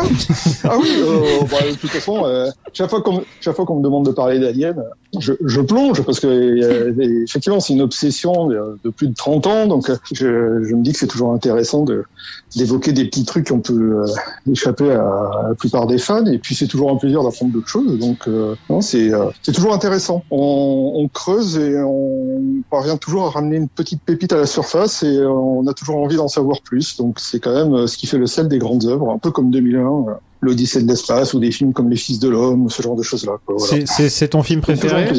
Ou en tout cas, Euh. en tout cas dans le top 3, top 5, Ah, on va dire Ouais. Oh oui, au moins en, en science-fiction, oui, bien sûr. Bah oui, il y a, il y a forcément 2001 qui est la matrice de tout ce qui a suivi après. Oui, autrement, bah oui, il y a- il y a plein de films forcément, et puis j'espère qu'il y en aura plein de nouveaux qui euh, qui m'enthousiasmeront autant euh, dans les années qui viennent, forcément. Bah écoute, euh, moi un peu pareil, enfin, je trouve que c'est fou, à chaque fois que je revois ce film maintenant, euh, je, je, je me dis, oh là là, j'aurais dû dire ça dans ma vidéo aussi, ou alors telle autre thé- thématique euh, pourrait mériter une, toute une vidéo euh, à elle seule, et, euh, et, et ouais, en fait, euh, on ne cesse de retrouver des, des, des, des dimensions au film, et des, et des messages, et des thématiques au fur et à mesure des revisionnages, et un revisionnage n'est jamais... euh, comment dire, inutile n'est jamais vain, euh, n'est jamais pauvre. Il y a toujours des choses à y, à y retrouver. Donc ça, effectivement, euh, euh, c'est la marque des grands films. Moi, ça m'a fait plaisir de le revoir. C'est toujours un plaisir de le revoir. Euh, sauf que bon, je l'avais vu il y a pas si longtemps que ça. Mhm. Donc c'était pas assez éloigné. J'aime bien quand ça fait c'est une saga que j'ai pas regardé depuis longtemps, tu vois. Mhm. Mais là, je vais m'éclater parce que j'ai vu quasiment aucun des. Enfin, je les, je les ai vus qu'une fois chacune des suites, à part peut-être Prometheus que j'ai dû voir deux fois. On m'a forcé. En dormant ou euh, en dormant, euh, éveillé ou pas? Non, et donc ouais, ça va être intéressant de, de me repencher là-dessus. Là, bah, c'est c'est clairement euh, la- la- l'entrée en matière. Le problème, c'est que j'espère, euh, bah, j'espère que voilà, c'est c'est- c'est ça le truc avec les, les, les grands films qui commencent une saga. C'est que quelquefois, euh, enfin, t'as un peu plus de mal à te mettre dans les suites, quoi. Bah ouais, tu vois? ouais, Et, et là, le premier, en fait, je l'adore en tant que film solo. Et limite, s'il avait existé que comme ça, ça m'aurait pas du tout dérangé. Hmm, bah c'est sûr. ouais. J'ai pas forcément besoin de savoir d'où ouais. vient l'alien. Je Mhm. J'ai pas forcément besoin de savoir qui ceci, cela, machin, bidule, euh, qui est le disc jockey, qui est. euh, j'ai pas besoin. J'ai pas besoin de savoir tout ça. Au final, j'ai juste besoin de ressentir des choses. Et le premier il me fait ressentir plein de trucs. Il est très très bon. Comme je disais, c'est un film de mood, un film d'ambiance, Hmm. qui est parfait pour ça. Les acteurs sont tous géniaux. C'est que des bons acteurs. C'est vraiment. euh, la réalisation est top. Voilà, j'ai dit du bien de Ridley.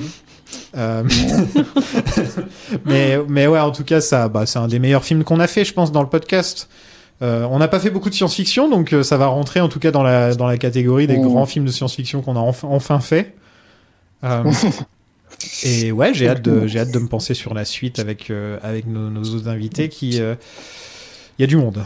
Il y a du monde qui, veut, qui veut parler de- d'Alien. Ah bah, c'est chouette. Et, euh, En tout cas, je trouve que les, les trois premiers sont, en, en tout cas, bon, même, même si je- j'aime pas trop le, le 2, pour la raison qu'on a évoquée, je trouve que Fincher a fait un très, mal- malgré la difficulté à réaliser le film, a fait un très bon travail avec les scénaristes pour clôturer l'histoire de Ripley. Pour moi, c'est vraiment, les trois films se tiennent, euh, qu'à un quand même, et bon, ils existent, et je trouve qu'il y a une cohérence dans l'évolution du personnage. euh, à, la, à, la, à la fin, ne serait-ce que voir que dans le 3, euh, Ripley, euh, elle, elle finit par être dans la position de H dans le 1, c'est elle qui finit par être brûlée, mais elle, c'est un suicide aussi. Le fait qu'elle perde ses cheveux petit à petit, donc qu'elle perde de sa force, qu'elle soit vraiment dans la passivité quasiment, dans l'attente de la mort, je trouve ça...